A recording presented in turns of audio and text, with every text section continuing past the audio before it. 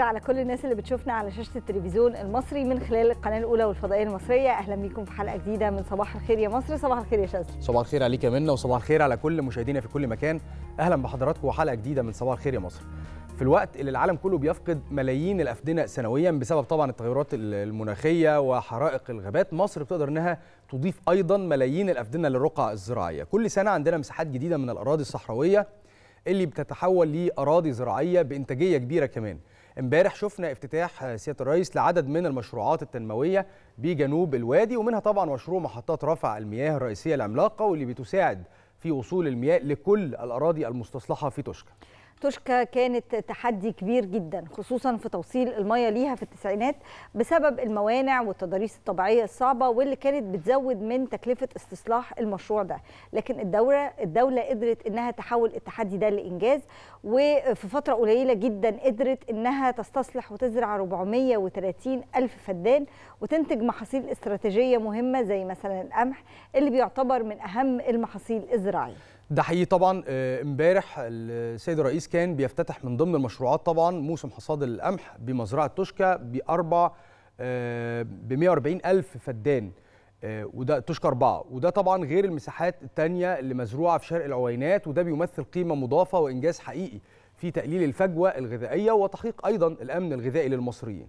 كمان المشروعات دي مش بس مشروعات زراعية هي في الأساس مشروعات تنموية متكاملة. يعني بتستهدف الأمن الغذائي مع التصنيع الزراعي وخلق فرص عمل للشباب وإقامة مجتمعات عمرانية جديدة. إحنا النهاردة هنتكلم بتفاصيل أكتر عن المشروعات دي وأهميتها وتعظيم الاستفادة منها. مرة تانية بنصبح على حضراتكم. صباحكم زي الفل. صباحكم كله خير ورزق صباح الخير يا مصر. قبل ما نبدأ أخبارنا وفقراتنا لصباح الخير يا مصر النهارده خلونا نروح لدينا ونتعرف منها على آخر أخبار الطقس. وأيضا جولة مرورية في شوارع القاهرة وباقي المحافظات. صباح الخير عليك يا دينا صباح الخير يا شاذلي صباح الخير يا منى صباح السعادة والتفاؤل على كل المصريين. صباح الإنجازات والتطور الكبير اللي بتشهده مصر الفترة اللي فاتت دي وما زلنا في تقدم مستمر إن شاء الله. إن شاء الله. دينا طمنينا على حالة الجو ويعني بقول لك أهو لو رجعت لنا الموجه الحارة تاني هتحصل لا خلاص لا لا النهاردة لا. لحد آه قريب، آه صح؟ آه يعني جو معتدل جدا. آه. آه. والفترة دي كمان درجات الحرارة بتتراوح من ال 36 و 35 فطبعا ده يعني بالنسبة لنا في الوقت ده من العام جو معتدل أنا هاخد خصوصا. عليكم ورق ممضي بعد كده. اسمه والله. وصولات أمانة. آه بجد لازم كلنا آه تعهدات بين الجو كان. الأسبوع اللي فات كان صعب جدا جدا. ما كناش معتادين عليه لأن فجأة درجات الحرارة كانت مرتفعة معدية ال 40 بصراحة. بس أكيد. يعني الحمد لله إحنا الأسبوع ده هنشهد يعني جو معتدل بإذن إن شاء الله. الله. إن شاء الله. بنصبح على حضراتكم مرة تانية وتعالوا نستعرض مع بعض أحوال المرور في مناطق مختلفة من مصر. هنبدأ معاكم من محافظة القاهرة وتحديدا من شارع رمسيس اللي بيشهد كثافات مرورية دلوقتي مكملة لحد شارع الجيش وصولا لميدان العباسية. هنفضل ماشيين لتقاطع شارع صلاح سالم هناك برضو هنلاقي بعض الكثافات البسيطة عند كوبري الجلاء. هنلاقي في كثافات مرورية مكملة لطريق العروبة. عند كوبري المطار في كثافات نسبية هتبدأ تقل وتختفي وإحنا داخلين على طريق المطار. لكن عند كوبري الحدايق اللي جاي من الزاوية ومتجه للفنجري في كثافات متحركة وكذلك الأمر على كوبري المطرية للقادم من الكابلات. لو رحنا لكورنيش النيل اللي جاي من مظلات في كثافات مرورية بسيطة متحركة ومستمرة لحد وسط البلد. ومكملين معاكم ونروح الجيزة.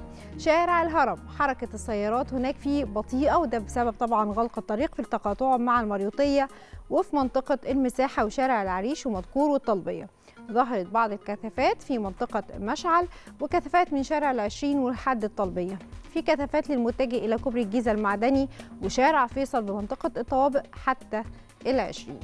محور 26 يوليو بيشهد في الطريق القادم من أكتوبر والشيخ زايد والمتجه لميدان لبنان كثافة مرورية.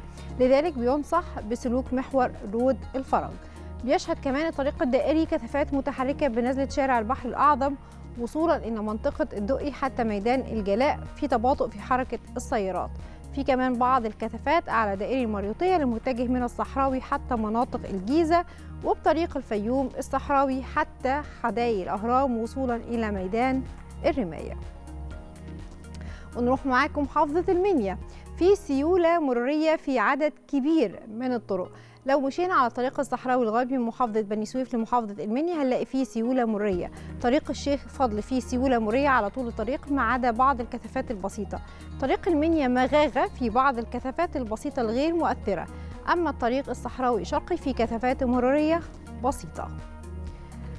ونكمل جولتنا المرورية ونروح محافظة الشرقية وهطول آه، طريق الزقازيق منيا القمح في سيولة مرورية. طريق الزقازيق الإسماعيلية الزراعي في بعض الكثافات المرورية. أما الحالة داخل المدينة ففيها كثافات مرورية بسيطة في طريق المحافظة والجامعة. كمان في سيولة مرورية عند موقف المنصورة ومدخل الطريق الجديد المتجه للمنصورة. الطريق من عاشر من رمضان لمدينة الزقازيق في سيولة مرورية ما عدا بعض التكدسات عند مدخل مدينة الزقازيق. أما الطريق من العاشر المتجه إلى مدينة العبور من خلال بلبيس في حالة سيولة مرورية ومن جولتنا في شوارع مصر المختلفة هناخدكم دلوقتي في جولة سريعة عن أحوال الطقس.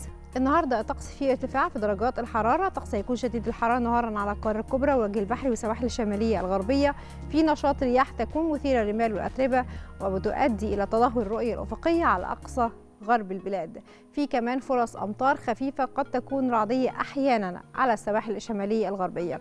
درجة الحرارة في القاهرة النهاردة 36 أعلى درجة حرارة هتكون في سيوة 42 وأقل درجة حرارة في كاترين 30 درجة. هنتابع مع حضراتكم الطقس بالتفصيل لكن بعد شوية. صباح الخير على حضراتكم من جديد. خلينا نبدأ على طول بأهم الأحداث. الرئيس عبد الفتاح السيسي هنأ النادي الأهلي امبارح على فوزه ببطولة دوري أبطال أفريقيا لكرة القدم. سيادة الرئيس قال في تدوينه له على صفحته الرسمية على موقع التواصل الاجتماعي فيسبوك أتوجه بالتهنئة للنادي الأهلي على فوزه الرائع. أداء مميز وجهود رائعة تستحق كل التقدير. كمان الرئيس وجه التحية لجماهير النادي الأهلي ولكل المصريين وقال نتمنى مزيدا من النجاح والإنجازات في المستقبل. وكمان وجه تحية تقدير للأداء المشرف للفريق التونسي الشقيق. طبعا هنتكلم مع حضراتكم عن افتتاح السيد الرئيس عبد الفتاح السيسي امبارح لعدد من المشروعات التنموية في جنوب الوادي وافتتاح موسم حصاد القمح في مشروع توشكا أربعة طبعا خلال الفعاليات تم الإعلان عن أنه الشركة الوطنية لاستصلاح وزراعة الأراضي الصحراوية قدرت السنة دي فقط أنها تزرع 500 ألف فدان من محصول القمح. وامبارح كمان دعا سيادة الرئيس عبد الفتاح السيسي المستثمرين للمشاركة في جميع المشروعات الزراعية اللي بتنفذها الدولة وأكد على أهمية الحفاظ والاستفادة من كمية المية وعدم إهدار أي نقطة مية.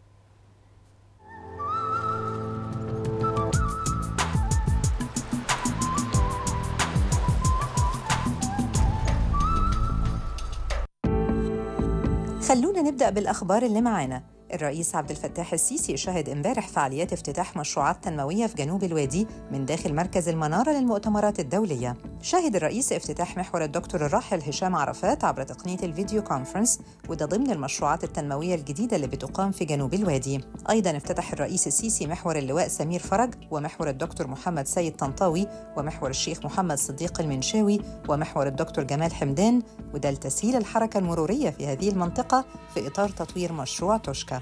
كذلك شهد الرئيس عبد الفتاح السيسي افتتاح موسم حصاد القمح في مشروع توشكا أربعة وتمكنت الشركة الوطنية لاستصلاح وزراعة الأراضي الصحراوية من زراعة 500 ألف فدان من محصول القمح. منها 310 ألف فدان بمزارع الشركة في توشكا و140 ألف فدان في مشروع توشكا أربعة. امبارح دعا الرئيس عبد الفتاح السيسي المستثمرين للمشاركة في جميع المشروعات الزراعية اللي بتنفذها الدولة مشددا على أهمية الحفاظ والاستفادة من أي كمية مياه وعدم إهدار أي نقطة مياه. امبارح أكد الرئيس عبد الفتاح السيسي أن الدولة بتجهز نفسها لتفادي أي أزمة مؤكدا على أن العمل على البنية الأساسية كان ضرورياً. امبارح أيضا المتحدث العسكري للقوات المسلحة نشر على صفحته الرسمية على فيسبوك إنه في إطار خطة التدريبات المشتركة للقوات المسلحة مع نظرائها من الدول الشقيقة والصديقة نفذت عناصر الشرطة العسكرية المصرية والبريطانية عدد من الأنشطة التدريبية المشتركة في مجالات الشرطة العسكرية والأمن الجنائي واللي استمرت لعدة أيام بإدارة الشرطة العسكرية في مصر. تضمنت مراحل التدريب عقد عدد من المحاضرات النظرية والأنشطة العملية لنقل وتبادل الخبرات التخصصية والتدريب على التعامل مع المواقف المختلفة طبقا لطبيعة المهام المكلفين بها وعكس التدريب مستوى الجاهزية والاحترافية اللي وصلت ليها العناصر المشاركة في تنفيذ الأنشطة التدريبية.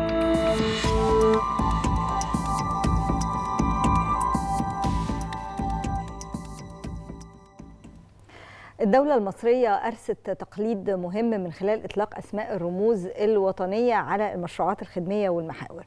وكلنا تابعنا امبارح افتتاح سيادة الرئيس لمحور اللواء سمير فرج ومحور الدكتور محمد سيد طنطاوي ومحور الدكتور هشام عرفات ومحور الدكتور جمال حمدان. خلينا نتابع.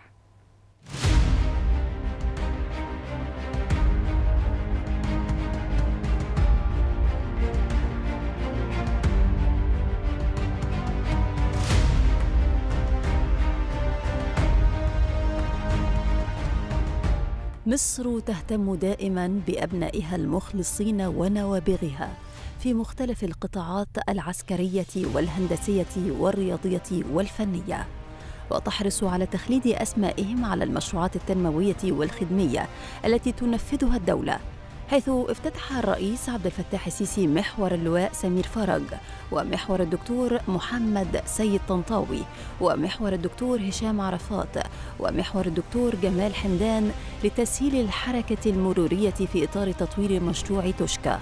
ويبلغ طول محور اللواء سمير فرج 17 كيلومتر بعرض ثلاث حارات مرورية بكل اتجاه ويربط طريقي أسوان الشرقي والغربي.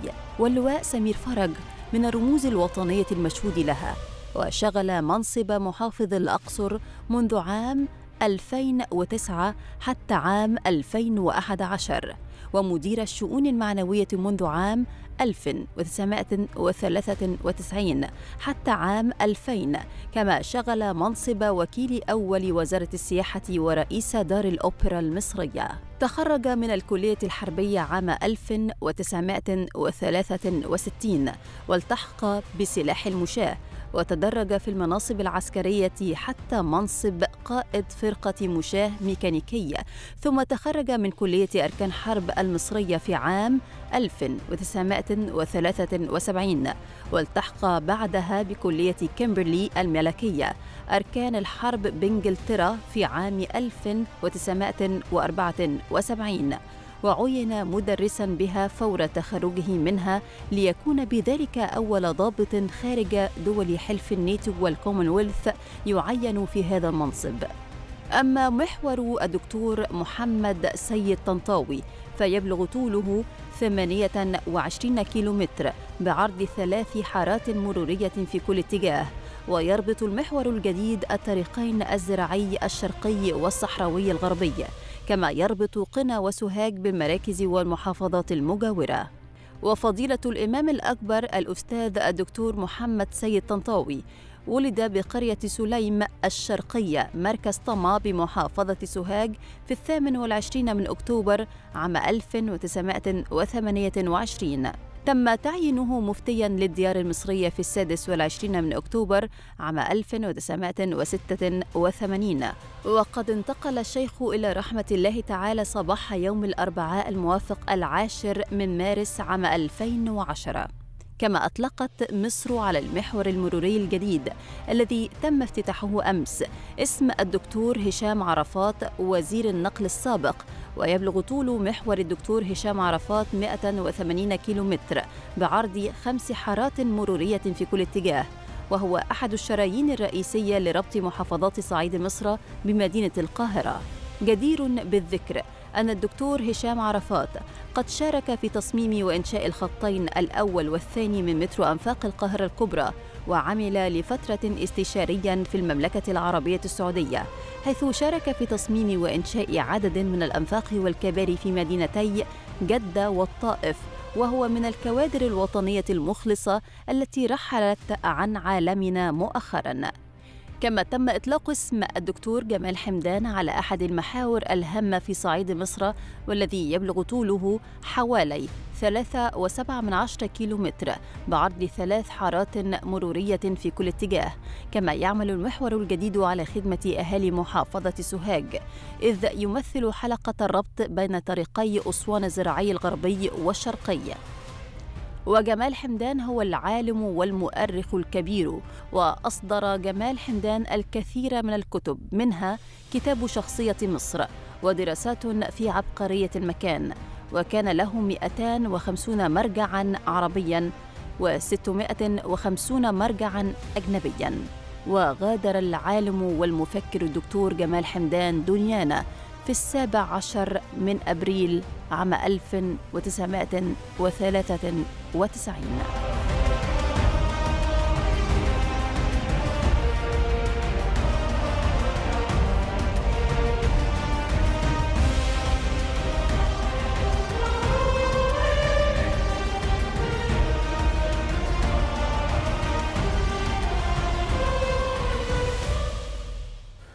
هنبدأ مع حضراتكم أخبار المحافظات من محافظة القليوبية واللي فيها تم تسليم ملابس الإحرام الخاصة بحجاج الجمعيات الأهلية. أما في بني سويف فتم الكشف وتوفير العلاج ل 1700 مريض بقافلة طبية ضمن حياة كريمة.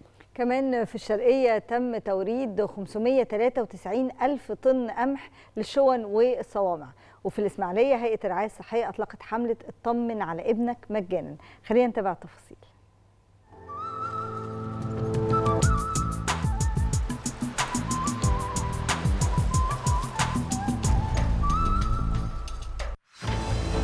محافظات مصر شهدت امبارح أخبار كتيرة. في القليوبية سلمت المحافظة ملابس الإحرام الخاصة لحجاج الجمعيات الأهلية التابعة لمديرية التضامن الاجتماعي بالقليوبية وتم تهنئة الحجاج بالسفر لأداء مناسك الحج والتمتع بالرحلة المباركة مع الالتزام بكل التعليمات من الفرق المسؤولة عن التوعية الصحية والإرشاد الديني. فأسوان بتشهد المحافظة تنفيذ مبادرة لا أمية مع تكافل واللي بتستهدف محو أمية الأسر المستحقة للدعم النقدي تكافل وكرامة. وبيتم استهداف الوصول لإعلان المحافظة بلا أمية. تستهدف المبادرة خلال العام الحالي محو أمية نحو 9500 شخص. في بني سويف شهدت المحافظة قيام إدارة القوافل بتنفيذ قافلة طبية على مدار يومين بقرية طما فيوم مركز أهناسيا ضمت 8 عيادات طبية. وتم الكشف على 1710 مريض وصرف العلاج ليهم بالمجان. في الشرقية أكدت مديرية التموين إن ما تم توريده من الأقماح بلغ 593696 طن قمح لمواقع التخزين بنطاق المحافظة مع التزام جهات التسويق بالسداد الفوري للمزارعين موردي القمح وبحد أقصى 48 ساعة من تاريخ الاستلام. فأسيوط أعلنت شركة مياه الشرب حدوث ضعف في ضخ المياه بالأدوار العليا بقرى ومدينة مركز القوسية في محافظة أسيوط نتيجة أعمال الغسيل رقم واحد الشرقي بمحطة مياه القوسية المرشحة. وذكرت الشركة أن هذه الأعمال تستمر لمدة ثلاثة أيام حتى بعد غدا الاثنين الساعة الثامنة صباحاً. في الإسماعيلية أعلن فرع هيئة الرعاية الصحية انطلاق حملة اطمن على ابنك للاطمئنان على صحة الأطفال وبتشمل الحملة المشتركين في التأمين الصحي الشامل وغير المشتركين. مشاهدينا فقراتنا مستمرة معاكم. خلينا نروح لفاصل ونرجع نستكمل معاكم باقي حلقاتنا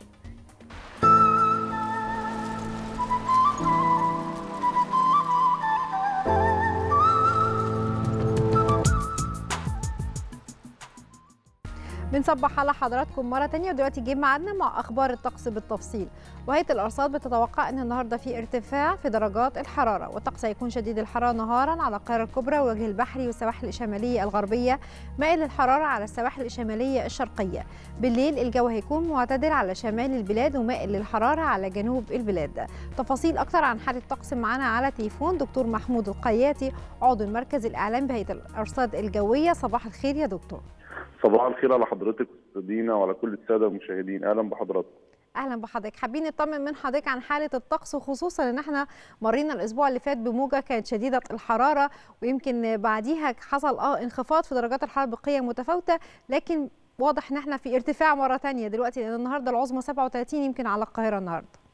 بالتأكيد طبعا. يمكن إحنا زي ما أشرنا إن الح... إن السبت وإن والجمعة إن شاء الله كان في انخفاض مؤقت في درجات الحرارة على كافة مناطق الجمهورية وبالفعل وصلت درجات الحرارة بالأمس لحوالي 33 درجة بالنسبة للقاهرة الكبرى بعد موجة طويلة من شديدة الحرارة استمرت أكثر من أسبوع. لكن زي ما أشرنا إن الانخفاض اللي كان موجود الجمعة والسبت كان انخفاض مؤقت لأنه بداية من اليوم متوقع أيضا ارتفاع تدريجي ومؤقت في درجات الحرارة على أغلب مناطق الجمهورية. ده طبعا بسبب إنه بداية من اليوم بدأت تتغير مصادر الكتل الهوائية اللي بتأثر علينا. هنبدأ من اليوم نتأثر بوجود منخفض صحراوي أو بنطلق عليه في بعض الأحيان منخفض خماسيني. بيكون قادم من الصحراء الليبية وبيدخل إلى الصحراء الغربية لمصر. ده بيجلب معاه كتل هوائية جنوبية بتكون شديدة الحرارة ونشطة. بيأثر بداية اليوم على القطاع الغربي من الجمهورية زي مطروح والسلوم ومناطق من الصحراء الغربية. وبتقدم الوقت بيبدأ يتحرك تدريجي علشان يدخل إلى المناطق الداخلية من الجمهورية زي القاهرة والوجه البحري ومحافظات الصعيد. حتى يخرج نهاية الغد من القطاع الشرقي من الجمهورية عند سينا إلى خارج الحدود المصرية. وبالتالي لمدة 48 ساعة بداية من اليوم متوقع ارتفاع تدريجي ومؤقت في درجات الحرارة على أغلب مناطق الجمهورية. زي ما أشرنا الارتفاع بداية هيبدأ على السواحل الشمالية الغربية. وبالتالي السواحل الشمالية الغربية اليوم زي مطروح واسكندرية هتسجل درجات حرارة مرتفعة. يمكن مطروح اليوم تسجل درجة حرارة في حدود ال 39 ل 38 درجة مئوية. في حين القاهرة هتبدأ تسجل درجة حرارة في حدود ال 36 درجة مئوية. بارتفاع طبعا عن الأمس يعني إحنا اليومين. دول بس اللي هنشعر بيهم بدرجات الحرارة المرتفعة مع آه، طبعا الرياح المثيرة للمال والأتربة. بالظبط بسبب هذا المنخفض الصحراوي. أيضا اليوم هيكون في إثارة للرمال والأتربة فقط على أقصى غرب الجمهورية زي مناطق من الصحراء الغربية ومناطق من السواحل الشمالية الغربية. بداية من الغد هيكون المنخفض ده طبعا مسيطر على آه، منتصف الجمهورية أو على الأجزاء الداخلية من الجمهورية وبالتالي غدا هتصل ذروة الارتفاع بالنسبة للقاهرة الكبرى اللي هتكون في حدود ال 38 إلى 40 درجة مئوية سواء على القاهرة الكبرى أو محافظات الوجه البحري. بالتأكيد بتكون محافظات الصعيد لها النصيب الأكبر من الارتفاع دايما وهتصل درجات الحرارة على جنوب الصعيد على شمال الصعيد إلى أكثر من 40 درجة مئوية وعلى جنوب الصعيد في حدود ال 44 إلى 45 درجة مئوية. أيضا غدا هتبدأ تنتقل الرمال والأتربة المصاره اللي هتكون موجودة اليوم على غرب الجمهورية هتنتقل الغد علشان تأثر على مناطق من القاهرة الكبرى ومناطق من محافظات الوجه البحري وسيناء ومدن القناة وأيضا مناطق من شمال الصعيد. لكن زي ما قلنا المنخفض ده هيمر من غرب مصر إلى الشرق في حدود ال 48 ساعة دول وبالتالي إن شاء الله بداية من يوم الثلاث متوقع تغير في مصادر الكتل الهوائية مرة أخرى نبدأ الثلاث في انخفاض تدريجي في درجات مرة ثانية. درجات الحرارة. بإذن الله. من الثلاث انخفاض تدريجي مرة أخرى في درجات الحرارة لتعود إلى معدلاتها الطبيعية ويبدأ الانخفاض ده يمتد من يوم الأربعاء القادم ليصل إلى المناطق الداخلية زي محافظات الصعيد بالكامل حتى جنوب الصعيد.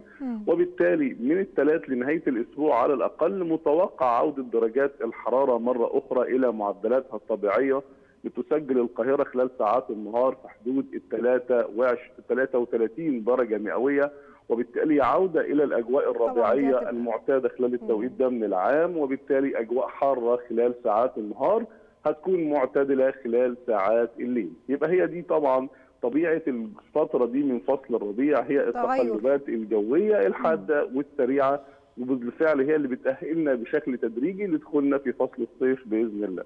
إن شاء الله. أنا طبعا يعني بشكر حضرتك على المتابعة اليومية معانا في برنامج صباح الخير يا مصر. بشكر الدكتور محمود القياتي عضو المركز الإعلامي بالهيئة العامة للأرصاد الجوية. بشكرك شكرا جزيلا. خلونا دلوقتي نتابع مع حضراتكم درجات الحرارة المتوقعة النهارده ونبدأها من العاصمة القاهرة والعظمى 36 الصغرى 23 العاصمه الاداريه 36 23 إسكندرية 35 22 عالمين الجديدة 36 22 مطروح 39 24 دمياط 30 21 بورسعيد 30 22 إسماعيلية 36 20 السويس 35 21 العريش 31 19 كاترين 30 13 طابة 30 25 حلايب 32 25 شلاتين 35 26 شرم الشيخ 38 27 الغردقة 37 27 الفيوم 37 27 بني سويف 37 23 الوادي الجديد 39 27 أسيوط 38 24 سوهاج 39 26 قنا 40 26 الأقصر 40 27 وأخيرا أسوان 40 28 بنحاول نطمن حضراتكم عن حال الطقس لكن هناك مرتفع متأثر به البلاد خلال اليومين النهارده وبكرة هيسبب ارتفاعات في درجات الحرارة مع رياح مثيرة للرمال والأتربة. هرجع مرة تانية لشاذلي. ومنا علشان نكمل معاكم فقرات صباح الخير يا مصر. شكرا ليك. أنا كان نفسي أفضل على الوعد اللي وعدته لك إن درجات الحرارة تفضل معتدلة بس من يوم الأربعاء هتنخفض مرة تانية. نلحق يومين. شكرا ليك يا دينا شكرا لك ودلوقتي خلينا نتابع مع بعض أهم الأحداث اللي هتحصل النهارده في سياق التقرير اللي جاي.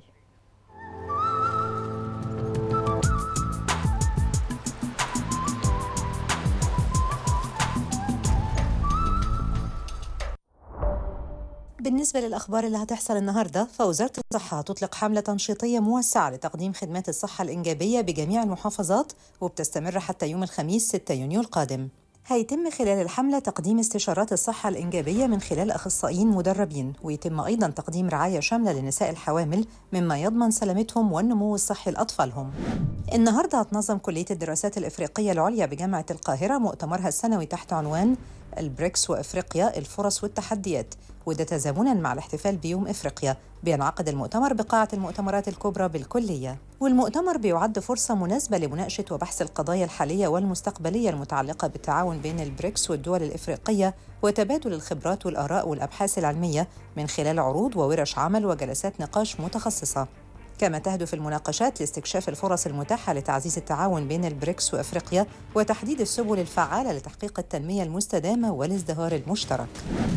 النهارده هيعلن الجهاز الفني المنتخب مصر الأول لكرة القدم بقيادة حسام حسن قائمة الفريق استعدادا لمباراتي بوركينا فاسو وغينيا بيساو المقرر لهما يومي 6 و10 يونيو من الشهر المقبل في الجولتين الثالثة والرابعة من التصفيات الإفريقية المؤهلة لكأس العالم 2026 وتقرر انطلاق المعسكر يوم الثلاث المقبل بأحد فنادق القاهرة. وفضل الجهاز الفني إعلان القائمة عقب مباراة الأهلي والترجي في نهائي دوري أبطال إفريقيا على أن يطمئن على جميع اللاعبين قبل الكشف عن القائمة.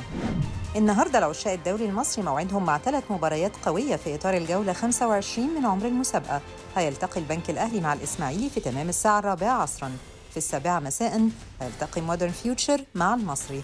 وفي نفس التوقيت هيلتقي طلائع الجيش مع بلدية المحلة. النهارده هو ذكرى رحيل الفنانة الجميلة فايزة كمال واللي رغم عمرها الفني القصير إلا أنها شاركت في أعمال كتيرة جدا وقدمت أدوار مهمة في مسلسلات زي المال والبنون والإمام الشافعي وأم الصابرين وكمان كان آخر أعمالها مسلسل الإمام الغزالي ده كان في عام 2012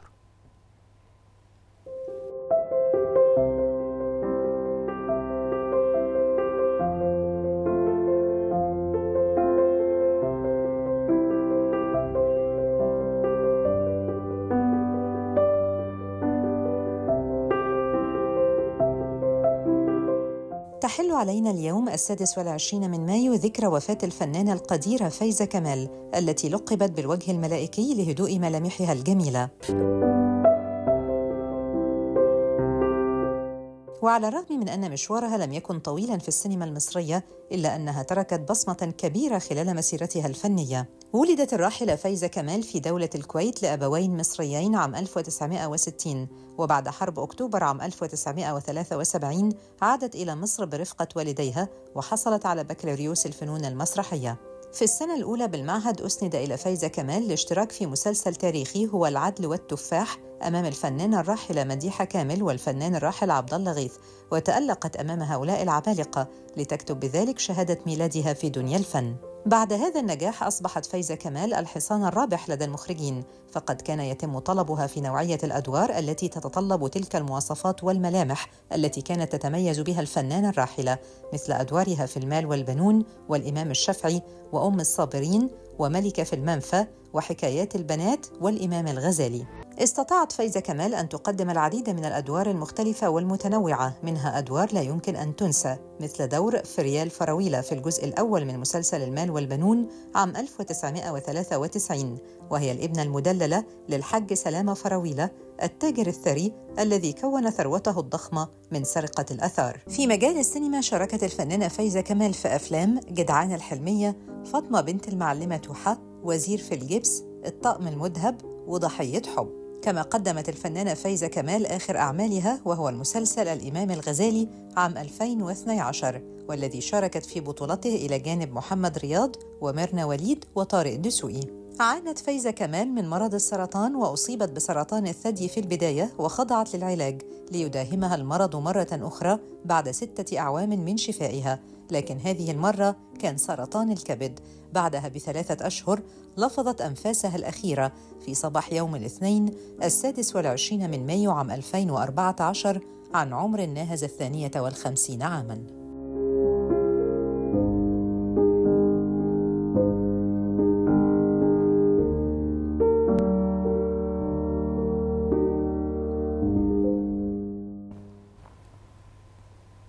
في الوقت الحالي كل المحافظات بتشهد موسم حصاد محصول القمح وتوريده للشون والصوامع اللي تم تخصيصها بكل المناطق في المحافظات.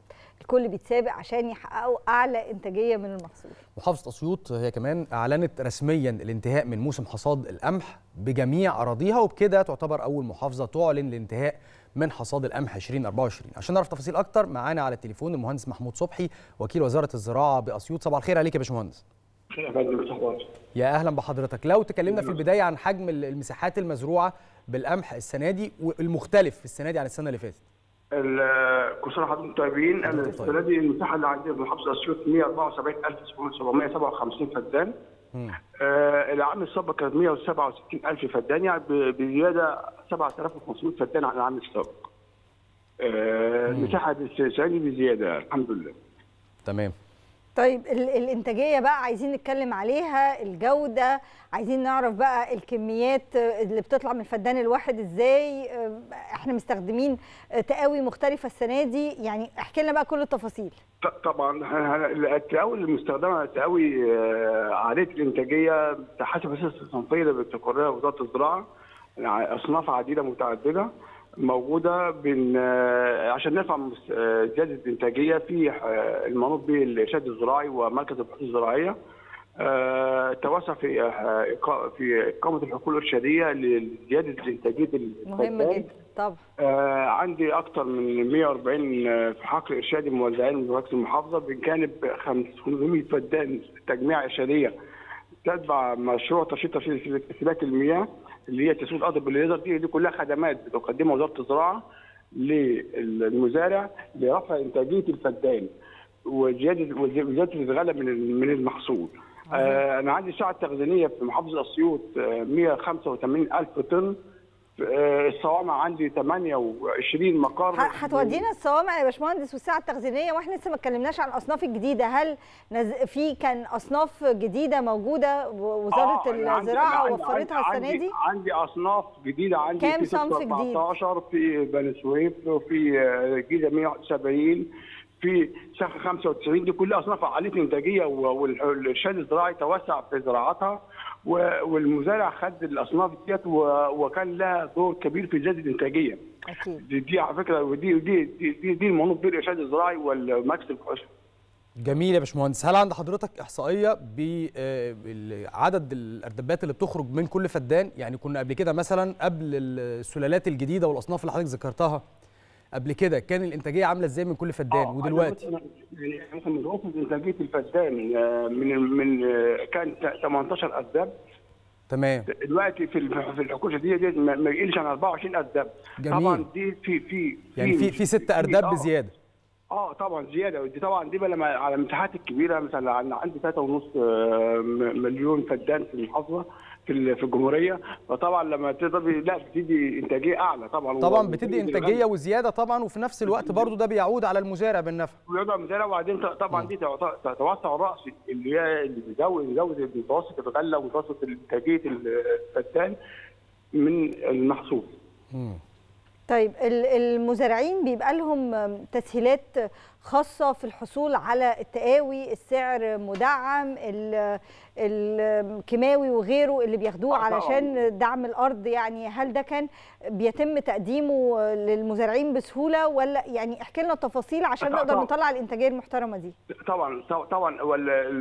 التقاوي متوفرة بنسبة 100% التقاوي العاليه الإنتاجية متوفرة. ت- ال- المزارع بياخد في الحقول الارشاديه بياخد تقاوي مجانيا. أنا سبق ذكرت إن في حقول ارشاديه بت لزراعة القمح. دي بتوزع حقوق بتوزع تقاوي مجانا. آه، في في مبادرة إزرع كانت بتوزع التقاوي بنصف الثمن. طبعا دي دي دي, دي, خدمات بتقدمها المبادرة. للمزارع لمين؟ آه، آه. لمساحات معينة يا باشمهندس كانت لا ولا لا لا؟ لجميع المساحات. المواد الازرق دي كانت موجودة على مستوى الجمهورية وموجودة على محافظه اسيوط وزعنا كميات كبيرة بنصف الثمن. كويس قوي طيب آه، باشمهندس برضو من الحاجات المهمة إن يكون المزارع أو الفلاح مرضي. تمام تمام. ده ده حصل. ده حصل وحصل في في التوريد. الناس مبسوطة يعني. آه طبعا. وحصل في التوريد الحمد لله السنة دي التوريد عالي. لأن ال- الدولة آه، سعرت سعر توريد القمح ل 2000 جنيه الاردب ودي سعر مجزي وسعر أعلى من الأسعار العالمية. كان في بدايه الموسم كان السعر استرشادي ب 1600 جنيه للاردب الدولة سعرته في ب 2000 جنيه الاردب ودي دي سعر مجزي. وطبعا دي انعكس على على التوريد. تمام. السنة دي. يعني مم. حتى التاريخ أنا مورد 160 ألف طن آه، في محافظة أسيوط. في نفس التاريخ في نفس اليوم كنت مورد 79 ألف طن يعني تقريبا أكتر من 100% فرق كبير طبعا. آه طبعا فرق كبير طبعا لأن أنا سعر مجزي وسعر مرضي للمزارع طيب فكرة ال- البورصة بتاعة القمح اللي الحكومة أعلنت عنها إنه هيكون بحد أدنى أو أقل حاجة هيكون السعر آه، اللي تم إعلانه ووارد إنه يزيد أكتر. ده خلى فيه إقبال أكتر. فكرة الزراعة التعاقدية اللي ابتدت تحصل دي ده خلى فيه إقبال أكتر على الزراعة وإن يبقى فيه آم، مفيش تفتيت للأرض. يعني الناس قاعدة في الحوض كله بتزرع نفس المحصول بحيث إنه مفيش شك، يبقى مفيش شك. ما فيش في ضوء التفتيت الملكية والمساحات الصغيرة. الدولة بتنادي بالزراعات التعاقديه وال- وال- والتكتلات والتجمعات اللي هي زراعة زراعة اللي هي الدولة الزراعية والحقوقات كلها بتزرع محصول قمح أو اي أي- تمام فالمشاكل دي دي وسيلة من وسائل لزيادة الإنتاجية.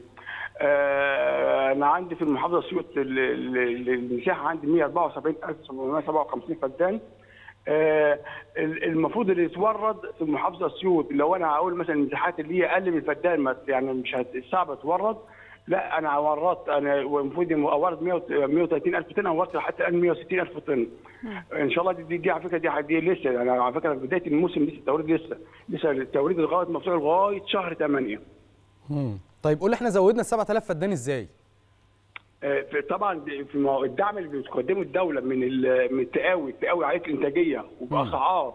مناسبة للمزارع بجانب الم- المبادره ازرع اللي كانت بتوزع التقاوي بنصف الثمن بجانب الحقول الإرشادية اللي بتوزع التقاوي مجانيه بجانب المشاريع اللي هي مشروع ترشيد استهلاك المياه اللي هو اللي هو تسويق الأرض بالليزر خدمات بيقدم- بيقدمها الارشاد الزراعي وجهاز تحصيل الاراضي بي- بيقدمها للمزارع تسويق الأرض بالليزر دي من فوائدها بترشد استهلاك الميه بتوفر ثلث الميه زائد بتوفر من من من التقاوي بمقدار الثلث أيضا.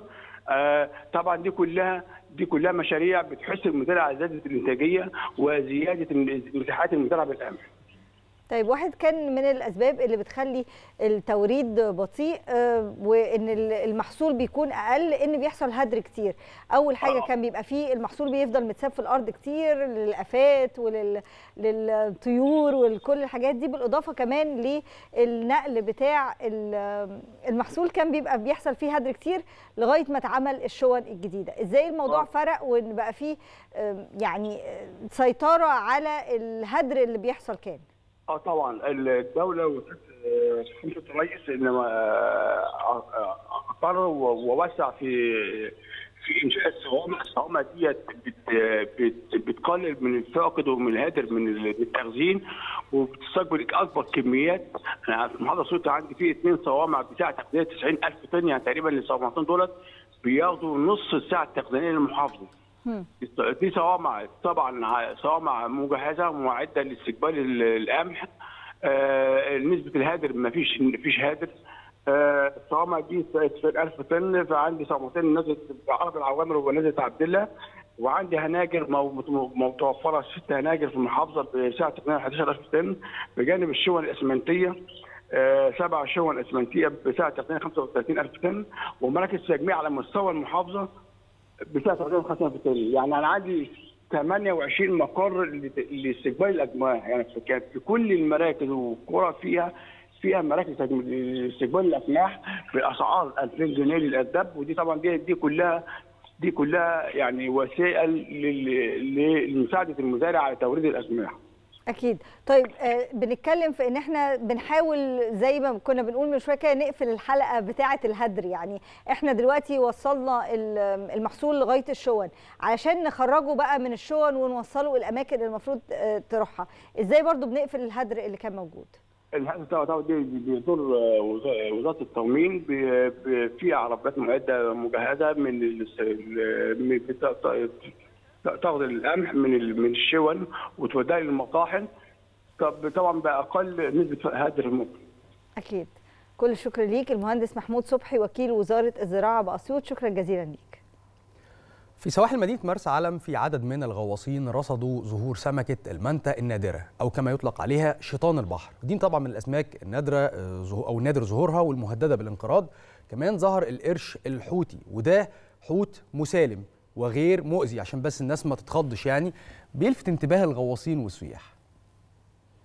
خلينا نعرف تفاصيل أكتر معانا على التليفون دكتور محمود معاطي أستاذ الأحياء البحرية بالمعهد القومي لعلوم البحار. صباح الخير عليك يا دكتور. صباح الخير يا محمد. صباح الخير يا منى صباح النور. وسهلا. بيك دكتور كل شوية بنسمع عن ظواهر طبيعية بت... بنلاقيها موجودة في مية البحر الأحمر. لو في البداية كده اتكلمنا عن العوامل الطبيعية اللي بتتميز بيها مية البحر الأحمر من غيرها بتخلينا موجودين دايما محط أنظار العالم وعندنا تنوع في البيئة البحرية. آه الأول نحب نتكلم شوية عن البحر الأحمر. البحر الأحمر آه هو بحر صغير.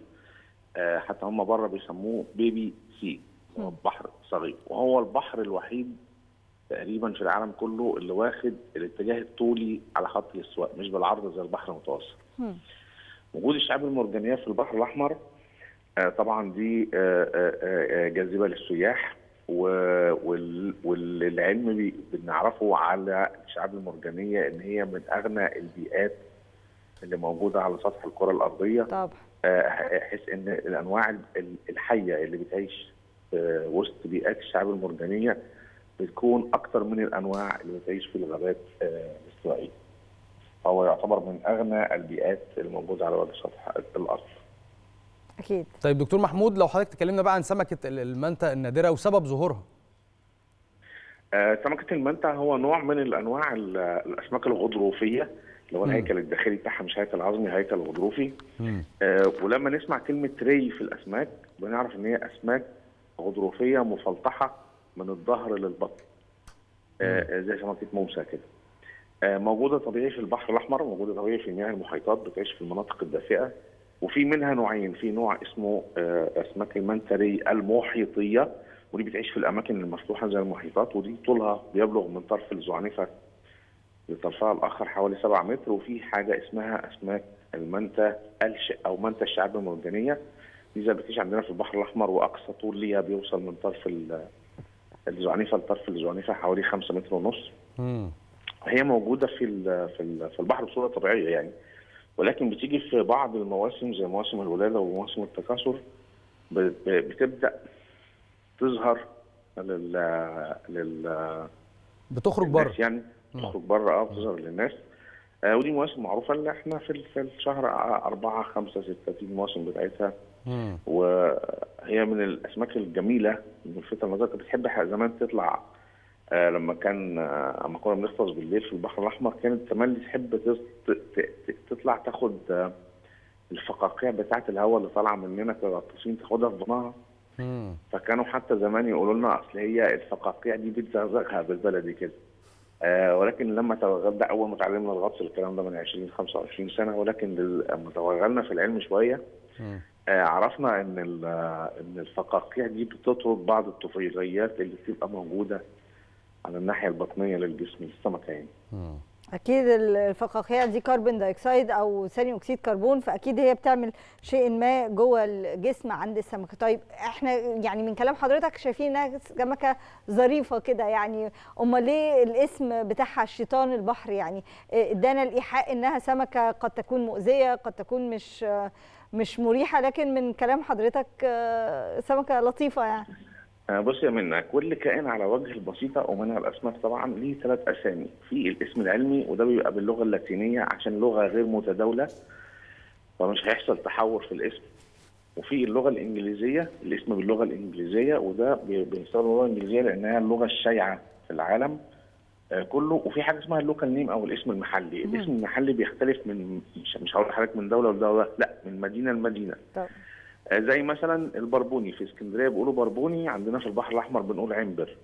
ال ال السمك ال- ال grouper آه، اللي هو الوقار في اسكندرية. الكشر عندنا هنا في في البحر الأحمر في الخليج بيسميه الهامور سمكة شيطان البحر أطلق أو سمكة المنت أطلق عليها شيطان البحر. ده من الصيادين أو من السكان المحليين. علشان ظهرها من فوق آه، أسود وبيبقى ليها امتدادين آه، قدام ال- آه، قدام الفم اللي بنسميها الفلوبس علشان تتغذى بيهم بيبقوا أشبه ب آه، أو هم شبهوها بالقرون بتاعت الشيطان. هو طبعا اسم غير حقيقي يعني. طيب نيجي بقى لموضوع ال- القرش الحوتي أو بهلول. آه اتفضل. ده ده مسالم. آه جدا. آه مفيش داعي للخوف ولا الفزع.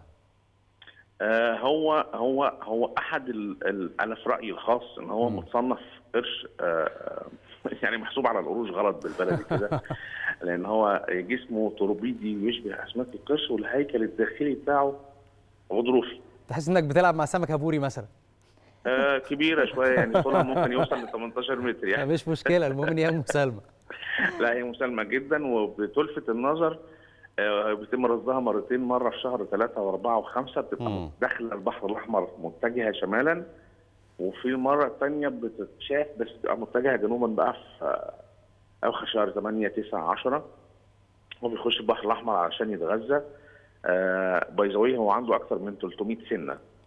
آه ولكن سنانه صغيرة خالص ومفلطحة مش بيستخدمها في الافتراس. آه آه آه خالص. هو بيتغذى بال filter feeding أو التغذية الترشيحية. هو بي آه بيسحب المية داخل جسمه آه ويبدأ يخرجها من الخياشيم فيبدأ الخياشيم بتاعته فراشيه الشكل فبتحجز المواد الغذائية اللي بتبقى عبارة عن العوالق البحرية الجمبري الصغير الأسماك الصغيرة آه، يعني أسنانه دي مش بتستخدم ابدا للهجوم. كل الشكر ليك الدكتور محمود معاطي أستاذ الأحياء البحرية بالمعهد القومي لعلوم البحار. شكرا جزيلا. دلوقتي ميعاد موجز لاهم الأخبار مع دينا. شكرا لك شاذلي الثامنة صباحا بتوقيت القاهرة الخامسة بتوقيت جرينتش موجز الأخبار من التلفزيون المصري. أهلا بكم.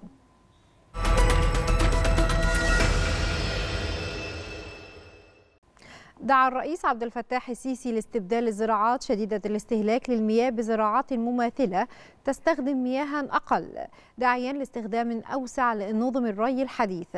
جاء ذلك خلال افتتاح الرئيس السيسي لعدد من المشروعات التنموية بجنوب الوادي حيث أكد ضرورة استخدام الميكنة والوسائل العلمية والعملية الحديثة لزيادة إنتاجية الفدان من المحاصيل الزراعية المختلفة. ودعا الرئيس السيسي لاستخدام مياه الصرف الصحي في عدد من الزراعات مثل الجوجوبا في الأراضي الجديدة المستصلحة لمواجهة أي نقص محتمل في المياه والاستفادة من القيمة المضافة لتلك الزراعات. كما أكد الرئيس السيسي ضرورة تناول تحديات الدولة بأسلوب موضوعي للتوعية وتوفير الجدية ومشددا على ضرورة توضيح طبيعة تلك التحديات للمواطنين من خلال التقارير الإعلامية وغيرها من التقارير الصادرة من المسؤولين.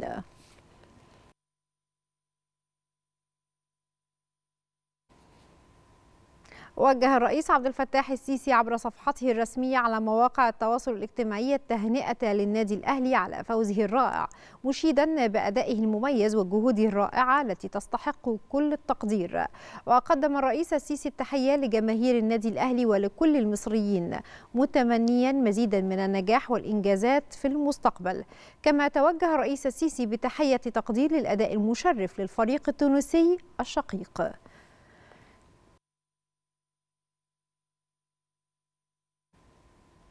قال نائب المستشار الألماني روبرت هابك إن إسرائيل تجاوزت الحدود في قطاع غزة وعليها الالتزام بالقانون الدولي. واتهم نائب المستشار الألماني إسرائيل بانتهاك القانون الدولي لمواصلتها الهجوم على مدينة رفح الفلسطينية. وأكد هابيك أن المجاعة ومعاناة الفلسطينيين والهجمات على قطاع غزة تتعارض مع القانون الدولي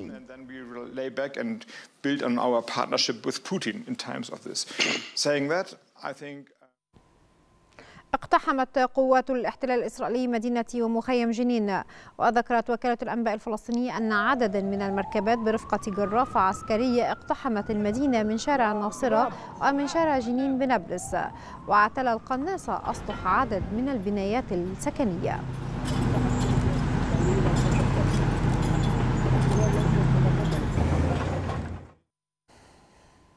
أجرى الرئيس التونسي قيس سعيد تعديلا وزاريا جزئيا في الحكومة.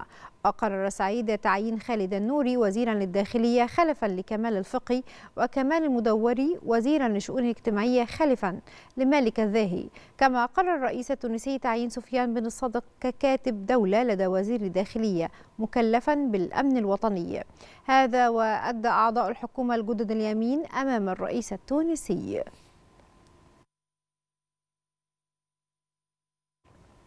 قتل ستة أشخاص على الأقل وأصيب أربعين في ضربة روسية على متجر في خاركيف. وأوضح حاكم منطقة خاركيف أن الهجوم الروسي نفذ بواسطة قنبلتين جويتين موجهتين. ومن جانبه قال الرئيس الأوكراني فلاديمير زيلينسكي إن روسيا وجهت ضربة إضافية أخرى لمدينة خاركيف.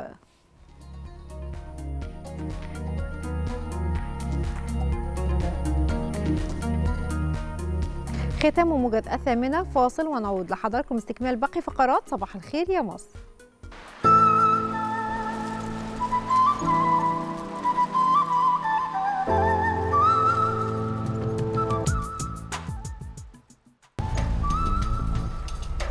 قرية نجريج التابعة لمركز آه، لمدينة بسيون بمحافظة الغربية وهي طبعا قرية محمد صلاح شهدت عدد من الفعاليات واللي نظمتها مؤسسة حياة كريمة ضمن برنامج أنت الحياة.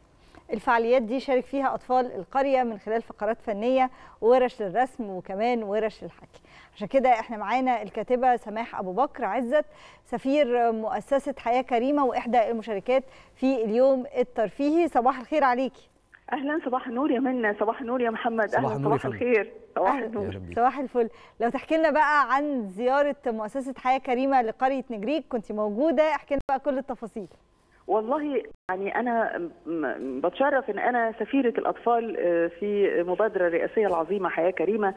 آه، شفت كرة كتير وسعدت بلقاء آه، ولادنا الأطفال في الكرة ولكن قرية نجريج الحقيقة أول ما عرفت إن إحنا رايحين كان ليها واقع تاني خالص عليا. ليه؟ لأن إحنا دايما بنتكلم مع الأطفال عن أحلامهم آه، بيفكروا في إيه يتمنوا إيه حياة كريمة عملت إيه في القرية عندهم وإيه الحاجة اللي فرقت معاهم. ولكن نجريج تحديدا آه، لا نجريج حاجة تانية لأن نجريج هي الأرض اللي طلع منها صلاح ال- البطل العالمي. ففي رسائل كتير قوي قوي قوي تقدري توصليها للأطفال اللي هم من عايشين على نفس الأرض. طبعا. فأنا أول ما دخلت الولاد قلت لهم القرية بتاعتكم جميلة قوي. إيه أشهر حاجة فيها؟ أنا عايزاهم هم اللي طبعاً يقولوا. فطبعا كل صوت واحد قال صلاح. قلت لهم جميل. أنتوا عارفين المدرسة اللي ورانا دي في نفس الشارع؟ دي كانت مدرسة صلاح. بس إيه الفرق بين صلاح وبين كل اللي كانوا قاعدين معاه في الفصل؟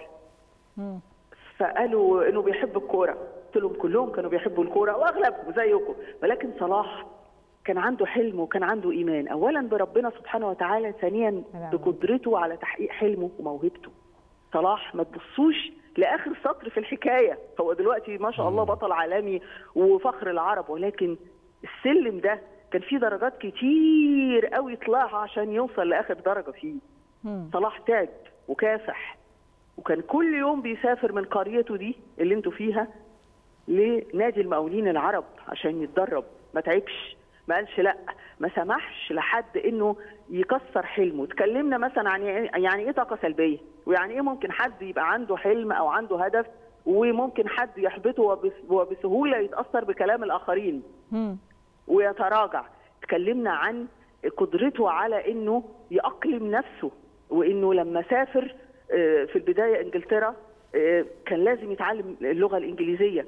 إزاي كافح وتعب وتعلم وراح إيطاليا وتعلم اللغة الإيطالية. يعني إيه إيه إزاي يشتغل على نفسه؟ إزاي في وقت ما كانش فيه أي إمكانيات؟ يعني إحنا عندنا حاليا الشركة المتحدة آه، يعني عاملة برنامج رائع وعظيم اللي هو برنامج كابيتانو اللي هو بيكتشف مواهب الأطفال الكروية في القرى والمحافظات. وأنا اتشرفت إن أنا في إحدى حلقات البرنامج آه، استضافوني أتكلم مع ولادنا اللي كانوا في المعسكر.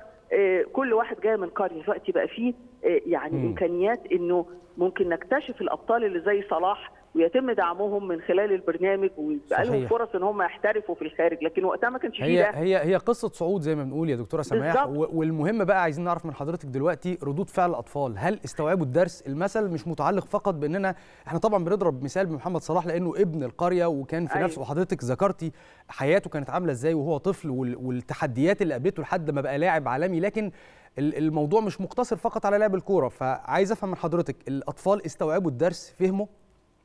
آه استوعبوا وكانوا يعني كانوا بيشاركوني ال ال ال آه، الكلام وبالعكس بيضيفوا لي يعني كنت بقول لهم طب أنتوا آه، آه، شايفين الحكاية إزاي؟ قال لا إن الواحد لازم يتعب. قلت لهم والأهم بقى إن لما الواحد يوصل بلده وضعها إيه في حياته؟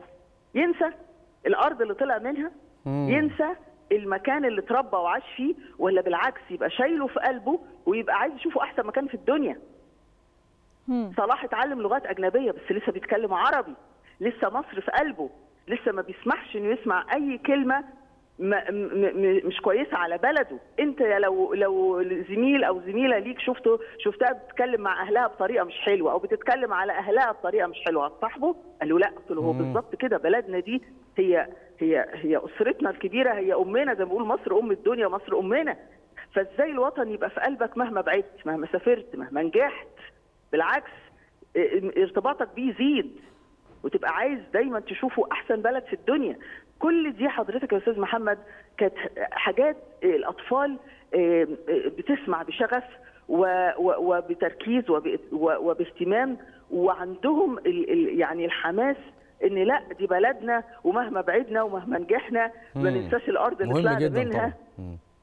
فأنا كنت سعيدة جدا بيهم بتفاعلهم آه، برغبتهم إن هم آه، يحققوا أحلامهم وإنه في مثل قدامهم آه، تعب وكافح وان مفيش حاجة بتيجي بالساهل وإن ربنا يقف جنب اللي بيسعى بجد. طيب آه، اتكلمتي معاهم عن المدرسة زي ما قلنا في البداية وهل الولاد بقى كانوا عارفين اسم المدرسة اتسمت ليه إيه التفاصيل ده, ده, ده بقى كمان قصة تانية ولا دي كانت فرصة ظريفة آه. إنك تزودي الوعي وإنك. تعرفيهم إنه عندهم حاجات كتير ممكن يفخروا بيها أنا كنت الحقيقة أول دخلت المدرسة لقيت تمثال يعني شكله كده جميل وتمثال لرجل كده شكله يعني آه، ذو علم يعني زي ما بيقولوا. فقريت اليافطه لقيت آه، الشيخ محمد عادل الطنطاوي طب مين الشيخ محمد عادل الطنطاوي فسألت فعرفت إنه الشيخ محمد عادل الطنطاوي أرسله محمد علي لروسيا لتعليم آه، الروس اللغة العربية. فكان أول معلم للغة العربية في روسيا من قرية نجريج والروس احتفوا بيه وعملوا له تمثال من الرخام وتمثال يعني آه، فخم جدا والتمثال ده موجود في المدرسة والمدرسة هي باسمه مدرسة الشيخ محمد عادل. طنطاوي فقلت لهم شوفوا اللي, اللي بيبقى سفير لبلده في أي مكان مهما مر الزمن بيفضل ذكراه موجودة صحيح. فأنتوا المدرسة دي يعني تفخروا بإنه المدرسة بتحمل اسم شخص واضح إن نجريج بقى يعني بقت مصدرة لل, لل يعني لل... للقامات اللي بتحمل اسم مصر في العالم. يعني ده كان سنة كام؟ ده كان سنة آه، 1800 يعني هو ولد 1810 فده كان في لكن 1800 ذكراه ذكراه باقيه وتاثيره بالظبط. باقي وده المهم إنه بالفعل الاطفال زي ما حضرتك قلتي. إن اللي بيعمل حاجة كويسة واللي بيساهم إنه يرفع اسم بلده بتفضل ذكراه باقية بعد رحيله بمئات مئات السنين. صحيح ف- فندم. فدي حاجة جميلة. يمكن الولاد كانوا موجودين في المدرسة حضرتك بس بي- بي- بيعدوا على التمثال ده مش عارفين مين ده. مش عارفين أو ما حدش كلمهم أو ما حدش نور على النقطة دي. لكن كويس إن إحنا نوريهم حاجة زي دي عشان تكون نماذج آه، ملهمة ليهم إن هم يبقوا زيهم في المستقبل. إن شاء الله كل الشكر لحضرتك الكاتبة دكتورة سماح أبو بكر عزت سفيرة مؤسسة حياة كريمة. شكرا جزيلا يا فندم. دلوقتي مشاهدينا نروح لأبرز الأخبار الرياضية المحلية والعالمية. مع دينا. شكرا لك شاذلي. ودلوقتي جه ميعادنا مع جولتنا الرياضية محليا وعالميا. النادي الأهلي توج ببطولة دوري أبطال إفريقيا للمرة ال 12 وده بعد الفوز على الترجي التونسي بنتيجة 1-0 في مباراة اللي جمعتهم باستاد القاهرة في أياب نهائي دوري أبطال إفريقيا. أكرم توفيق لاعب النادي الأهلي حصل على جائزة رجل مباراة فريقه أمام الترجي التونسي واللي فاز فيها الأهلي بهدف في المباراة اللي جمعتهم امبارح على استاد القاهرة. حقق فريق الداخلية فوزا مثيرا على المقاولون العرب بثلاثة أهداف دون رد في المباراة اللي جمعت الفريقين امبارح باستاد بترو سبورت ده ضمن منافسات الأسبوع ال 25 من عمر مسابقة الدوري الممتاز. وبيقع فريق الداخلية في المركز ال 18 والأخير في جدول الدوري برصيد 15 نقطة بينما يسكن المقاولون العرب المركز ال 17 وقبل الأخير برصيد 16 نقطة.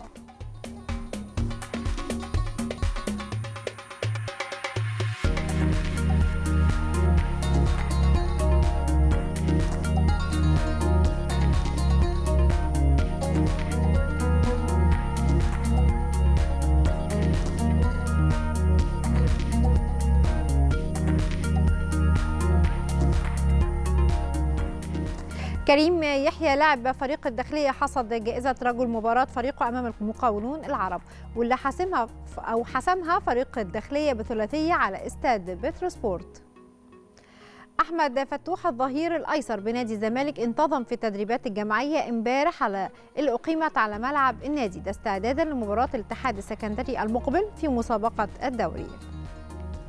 البطلة المصرية نور الطيب تأهلت للدور النهائي ببطولة مانشستر المفتوحة الإسكواش اللي بتقام في مدينة مانشستر وده بقيمة جوائز مادية بتصل إلى 75 ألف دولار للرجال ومثلها للسيدات.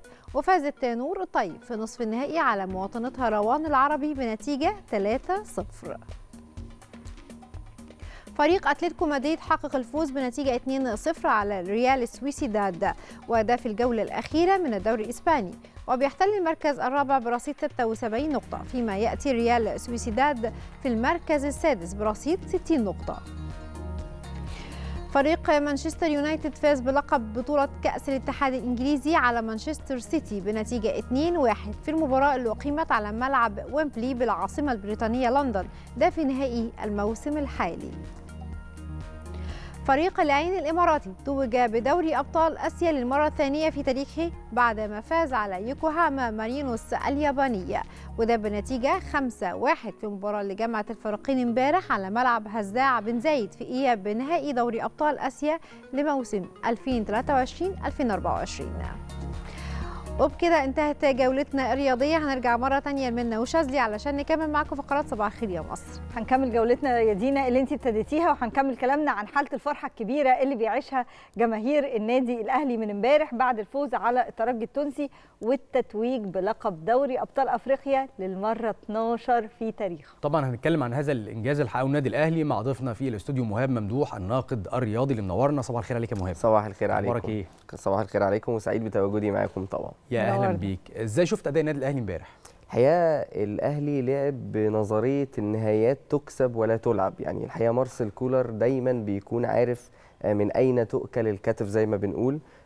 هدف مبكر اربك حسابات الترجي هدف آه، سريع في أول 15 دقيقة آه، استغل الأهلي من خلاله ضغط الجمهور آه، تحفيز الجمهور العدد الكبير اللي كان آه، يعني بيملأ استاد القاهرة زي ما بنقول. وبعدها تراجع الأهلي دفاعيا وده مش عيب تراجع دفاعيا للحفاظ على الهدف. حتى آه، حصد ال- البطولة أو اللقب زي ما بنقول حتى في تصريحات مارسيل كولر بعد المباراة. أكد إن دي كانت الاستراتيجية من من بداية المباراة أو من قبل المباراة. كانت تعليماته بتشير إلى هدف مبكر ثم الحفاظ على الهدف الضرورة الضرورة كانت عدم استقبال هدف آه، وده الهدف اللي تحقق في النهاية. والحقيقة الأهلي آه، كالعادة بطل أفريقيا. بس أول ربع ساعة كان ممكن الأهلي يجيب هدف تاني بمنتهى الراحة.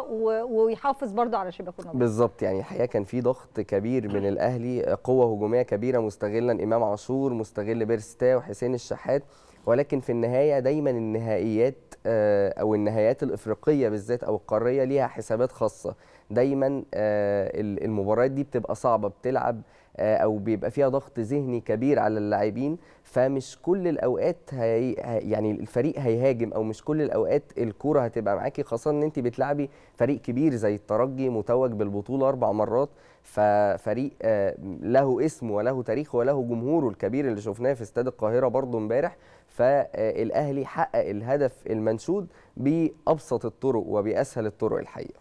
طيب لو تكلمنا بقى عن الفنيات وأداء اللعيبة امبارح الحقيقة آه، أكثر من لاعب امبارح قدم مباراة مميزة لكن خليني أخص بالذكر كريم فؤاد اللي كان عليه دور كبير جدا في تعويض لاعب آه، قائد زي علي معلول. الحقيقة كريم فؤاد ما اثرش آه، هجوميا ودفاعيا قدر إن هو حتى يكون ليه ثلاث عرضيات صحيحة بتتكلم في تمريرة مفتاحية بتتكلم حتى في قطع الكرة خمس مرات فالحقيقة أرقامه في الملعب كانت مميزة جدا كان. عليه ضغط كبير جدا إن هو بيعوض لاعب آه، قائد في داخل الملعب وخارجه زي علي معلول. فأعتقد كريم فؤاد قدم مباراة آه، رائعة. محمد عبد المنعم كالعادة يعني خليني طبعا رامي ربيعة هو ال- المساهم في الهدف. لكن محمد عبد المنعم آه، كان في تراجع من الأهلي بشكل كبير دفاعيا فكان في هجمات كتير على الأهلي. محمد عبد المنعم كان يعني حائط الصد لهذه الهجمات.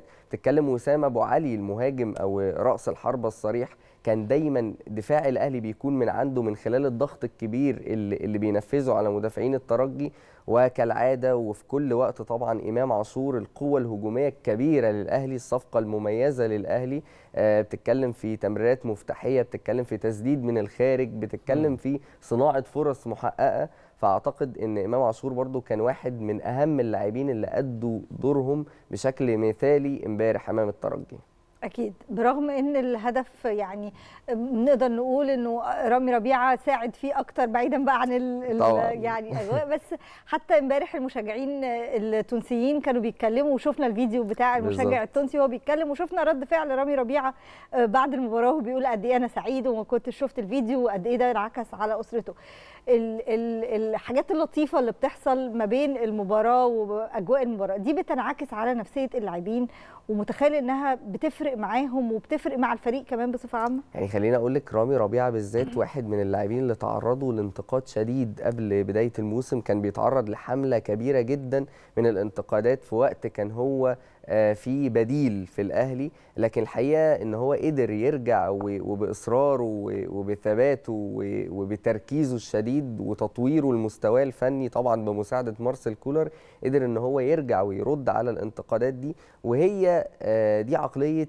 آه، اللاعب المميز أو اللاعب اللي بيشك اللي بيفكر بشكل محترف إن هو يرد دايما في الملعب. خليني أقول لك إن الفيديو اللي, اللي أنت بتتكلمي عنه عن مشجع الترجي الحقيقة آه، كان فيديو له صدى كبير بعد المباراة. يعني محدش كان متوقع إن المدافع هو اللي يسجل الهدف ولكن كالعادة رامي ربيعة دايما دايما آه، قائد داخل الملعب دايما دوره بيبقى آه، مميز جدا في الأوقات الحاسمة.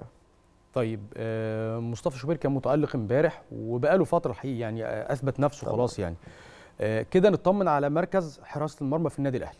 سواء مصطفى بالنسبة للشناوي. أو لشوبير. طبعا الحقيقة مصطفى الشوبير يعني خليني أقول لك رقم تاريخي هو حققه أول حارس في تاريخ دوري أبطال إفريقيا آه، بيحافظ على نظافة شباكه آه، تسع مباريات متتالية وبيتوج باللقب. رقم تاريخي في في في وقت هو جاي فيه من بعيد. يمكن محمد الشناوي كان دايما هو الحارس الأساسي وبعد إصابته محدش توقع المستوى الرائع اللي, عمله مصطفى شوبير حتى مش في النهائي بس لكن خارج الأرض أمام مازيمبي شفناه إزاي تصدياته كانت مميزة في الدور ربع النهائي. بدايه حتى من دور المجموعات فالحقيقة مصطفى شوبير آه، بيطمن آه، آه، مستقبل منتخب مصر في مركز حراسة المرمى وده المركز اللي دايما كان عندنا شوية أزمة أو أو قلق مع طبعا مع تقدم عمر محمد الشناوي و- والاتجاه طبعا أو اقترابه من الاحتراف الخارجي لكن وجود حارس زي مصطفى شوبير آه، له خبرات لعب أمام آه، جماهير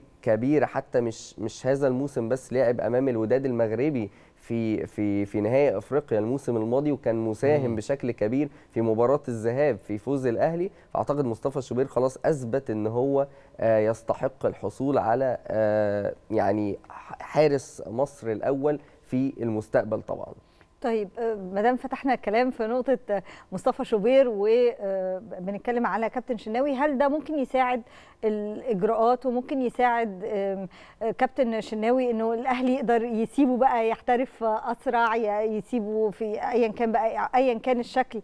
لكن هو كده مطمن على مركز حراسة المرمى عنده؟ طيب خليني أقول لك إن فعلا قبل ظهور مصطفى شوبير أو قبل تواجده بشكل أساسي أو حصوله على الفرصة الكافية كان مرفوض تماما من جانب مسؤولي الأهلي احتراف محمد الشناوي رغم العروض المغرية اللي كانت بتوصل له. لكن الحقيقة مع مستوى مصطفى شوبير والتألق الكبير اللي حصل في دوري أبطال إفريقيا آه، أعتقد آه، في موافقة مبدئية من جانب النادي الأهلي آه، لاحتراف محمد الشناوي حال وجود عرض يليق بإمكانيات الحارس ويليق بإمكانيات النادي الأهلي أيضا. فأعتقد إن وجود عرض احترافي للشناوي في الفترة القريبة أعتقد هيكون عليها موافقة نظرا لتواجد مصطفى شوبير ونظرا لتواجد آه، الزنفولي الحارس اللي, اللي تعاقد معاه الأهلي. طيب الأهلي بياخد البطولة ال 12 وأعلى نادي خد حصد هذه البطولة. هل تتوقع إنه في المستقبل أنا لا أتوقع بصراحة إن يجي نادي في أفريقيا يحصد أو يكسر أرقام النادي الأهلي؟ طيب خليني أقول لك إن هو آه، النادي الأهلي حالة استثنائية. يعني أعتقد حالة استثنائية من الصعب تكرارها مش لكثرة عدد بطولات ولكن لثبات آه، المستوى أو للاستمرارية. كل الفرق كل الفرق في العالم بيجي لها وقت up and down يعني في في وقت مانشستر سيتي وقع فيه اوروبيا ريال مدريد في وقت وقع فيه اوروبيا مع تفوق ليفربول. النادي الأهلي الحقيقة على مستوى بطولة دوري أبطال أفريقيا عنده استمرارية رهيبة جدا جدا. ويمكن النادي الأهلي تحول أو أو يعني زي ما بنقول كده توحش بعد 2019 تحديدا بعد الهزيمة من سان داونز بخماسية. آه قدر إن هو يعني يتوج بعدد كبير من الألقاب قدر إن هو يصل حتى للنهائي حتى لو ما توجش فأعتقد هذه الهزيمة كانت البداية ل الأهلي كان نفسه لظهور- يقابل سان داونز. آه دي حقيقة لظهور وجه جديد جدا لنادي الأهلي لكن وجود نادي تاني يقدر يحقق نفس الأرقام بنفس الاستمرارية أعتقد صعب جدا جدا. السبب في ده إن في منظومة في النادي الأهلي. طبعا النادي الأهلي منظومة إدارية منظومة فنية منظومة حتى آه، بتمثل الاستقرار الاستقرار داخل آه، غرفة الملابس. أي لاعب داخل النادي الأهلي عارف إن هو داخل على منظومة ثابتة وبالتالي بيقدر ينسجم سريعا في هذه المنظومة وده اللي بيساعده على النجاح الحقيقي. يمكن دي واحد من ال ال الأسس القائم عليها الرياضة في النادي الأهلي. مش بنتكلم بس في كرة القدم أنت هتلاقي ده في أي لعبة سواء فردية أو لعبة جماعية.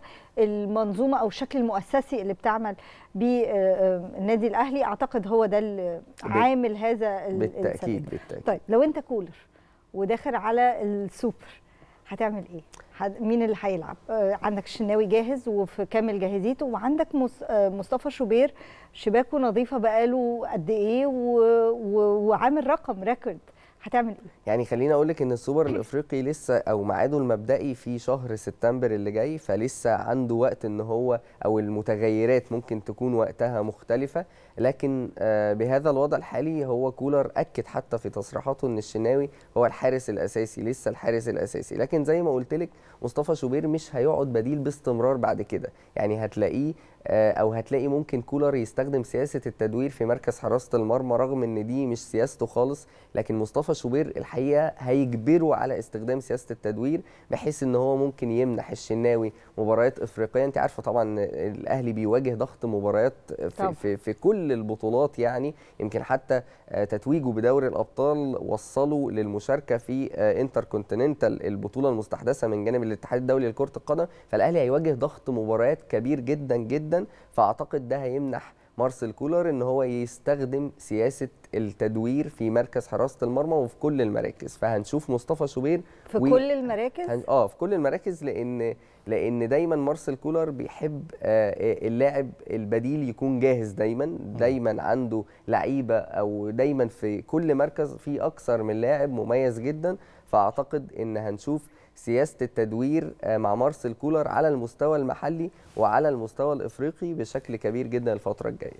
أعتقد إنه سياسة التدوير دي مهمة ومهمة كمان لل- للعيبة نفسها عشان تتحفز إن هي تلعب وهو كمان مارسيل كولر بيعتمد الفترة الأخيرة على إنه اللاعب نفسه يلعب في كذا مركز فهو مطمن إن هو عنده على الدكة فريق جاهز. لو الفريق ده مش موجود فالفريق ده جاهز إن هو يغطي يعني. طبعا يعني خليني آخد من كلامك أبرز مثال امبارح. آه، شفنا تبديلات مهمة جدا. شفنا ديانج بيعود من الإصابة. استخدموا مارسيل كولر على المستوى الدفاعي. آه، شفنا محمد مجدي قفشة. شفنا رضا سليم. شفنا بدايل جاهزة جدا. شفنا كهربا حتى في مركز المهاجم. مم. فأعتقد الأهلي ما يميزه الفترة الحالية إن هو عنده تشكيل أساسي قوي وعنده دكة يقدر مع يستفيد ديانج. كمان. طبعا جدا آه. جدا إيه رأيك في اداؤه امبارح لا الحقيقة كان أداء مميز جدا أداء آه قادر إن هو يعني الحقيقة كان أداء هجومي مميز جدا و آه زي ما قلت لك مارسيل كولر دايما بيطور كل لاعب يعني كريم فؤاد حتى على مستوى تطوير الهجومي الخاص بيه. كريم فؤاد لاعب 71 مباراة مع النادي الأهلي سجل سبعة وصنع ثمانيه فبتتكلم قبل انتقاله للنادي الأهلي ما كانش ده كريم فؤاد. فالحقيقة. مارسيل كولر بارع في فكرة آه تطوير كل لاعب على المستوى الفردي. حتى على مستوى آه، آه، أو على المستوى الدفاعي الأهلي قوي جدا دفاعيا في هذه النسخة من دوري الأبطال. الأهلي حتى ما تعرضش للهزيمة في هذه النسخة من دوري الأبطال وبيتوج بالبطولة للمرة الثانية في تاريخه دون آه، أي هزيمة وده رقم مميز جدا مارسيل كولر بيحققه. فمش بس بكلمك على التتويج ببطولة بكلمك على منظومة دفاعية مميزة جدا جدا. الأهلي والزمالك هيكونوا في آه، الدوري أو السوبر آه، يعني الكرة المصرية أعتقد عاملة طفرة كبيرة جدا ويعني حاجة مختلفة وأعتقد نقدر نسوق لها كويس قوي الفترة الجاية. طبعا يعني بعد 30 سنة أو تحديدا بعد 94 الأهلي والزمالك في السوبر الأفريقي مرة أخرى وده إن دل على شيء دل إن الكرة المصرية ما زالت مميزة وما زالت متفوقة في القارة الإفريقية. شفنا الزمالك إزاي بيتفوق على فريق مغربي قوي زي نهضة بركان متمرس في البطولات الإفريقية وشفنا الأهلي بيتفوق على مختلف الفرق آه، يعني اخرهم الترجي التونسي الفريق المميز. فالحقيقة الكرة المصرية بتؤكد سيطرتها على إفريقيا بشكل تام والسوبر الإفريقي إن شاء الله هيليق أو هيكلل آه، آه، هذه المجهودات آه، وهيؤكد على قوة الكرة المصرية. من الحاجات الجميلة إنه الأهلي لما بيفوز ببطولة بنلاقي إنه الصحف والأندية العالمية بتحتفي بده. طبعا شفت ده إزاي؟ طبعا يعني الأهلي دايما بيشرف مصر في المحافل ال- العالمية. شفنا أكثر من تهنئة من نادي آه، يعني يمكن مانشستر سيتي النموذج الأبرز آه، أو النموذج الناجح في إنجلترا. آه، شفنا برضو إشبيلية الإسباني فأعتقد آه، النادي الأهلي دائما وابدا بمشاركاته العالمية. يمكن زي ما قلت لك الأهلي حتى هيشارك في كأس العالم للأندية 2025 آه، انتر كونتيننتال هيواجه فرق عالمية كبيرة. فأعتقد مع استحداث الاتحاد الدولي لعدد من البطولات العالمية اللي هتشهد آه، وجود أكثر من فريق عالمي ده هيساعد أيضا على ظهور الفرق المصرية. آه نقدر نقول الأهلي عامل لنا اسم بره يعني. آه طبعا طبعا الأهلي وحتى يعني بكلمك على كمان الزمالك أو بما إننا اتكلمنا على الكرة المصرية بشكل عام لا أعتقد الكرة المصرية في على الطريق الصحيح بتسير على الطريق الصحيح من خلال طبعا تفوق الأهلي آه والزمالك على المستوى الإفريقي. هينعكس ده إزاي بقى على المنتخب في الفترة الجاية؟ أعتقد إن إمبارح والأسبوع اللي فات كابتن حسام حسن قاعد وبيكتب. طبعا. قاعد وبيدون وبيشوف. تفتكر ده هيفرق إزاي في الفترة اللي جاية؟ بالذات كمان في اختيارات كابتن حسام في. تقسيم في كل حاجة. يعني الحقيقة منتخب مصر عنده آه، مباراتين آه، مهمين جدا أمام بوركينا فاسو وغينيا بيساو في تصفيات كأس العالم. أعتقد إن آه، الحالة الذهنية أو حالة الفرحة اللي موجودة عند لاعبي الأهلي والزمالك والتفوق الكبير آه، الإفريقي هينعكس بشكل إيجابي جدا على منتخب مصر هينعكس بشكل كبير على لاعبي منتخب مصر. لكن. خليني أقول لك بعيدا عن اللعيبة المحلية عندنا لعيبة محترفة مميزة جدا يقدروا يساعدوا منتخب مصر. بتتكلم في عمر مرموش نجم فرانكفورت. ربنا يسلم بقى إجراء العملية ال- في ال- في بالظبط. يعني ده. يعني حتى على المستوى بعد آه، تعافيه هيكون عنصر مميز جدا. مصطفى محمد لاعب نانت شفناه تطور إزاي. حدث ولا حرج عن محمد صلاح الحقيقة. فأعتقد إن آه، وجود اللعيبة بحالة ذهنية آه، أو نفسية مريحة آه، ما بين الأهلي والزمالك والتتويج الإفريقي مع وجود آه، المحترفين مع وجود عناصر من فرق الدوري الأخرى مميزة برضه وظهرت بشكل كبير الفترة الأخيرة. فأعتقد إن منتخب مصر إن شاء الله هيقدر آه، يتأهل وبسهولة إن شاء الله إلى كأس العالم. إن شاء الله. طبعا بنشكرك جزيل الشكر مهاب ممدوح الناقد الرياضي شرفتنا ونورتنا. شكرا جزيلا. شكرا. مشاهدينا إحنا لسه موجودين معاكم. خلينا نروح لفاصل ونرجع نكمل معاكم باقي حلقتنا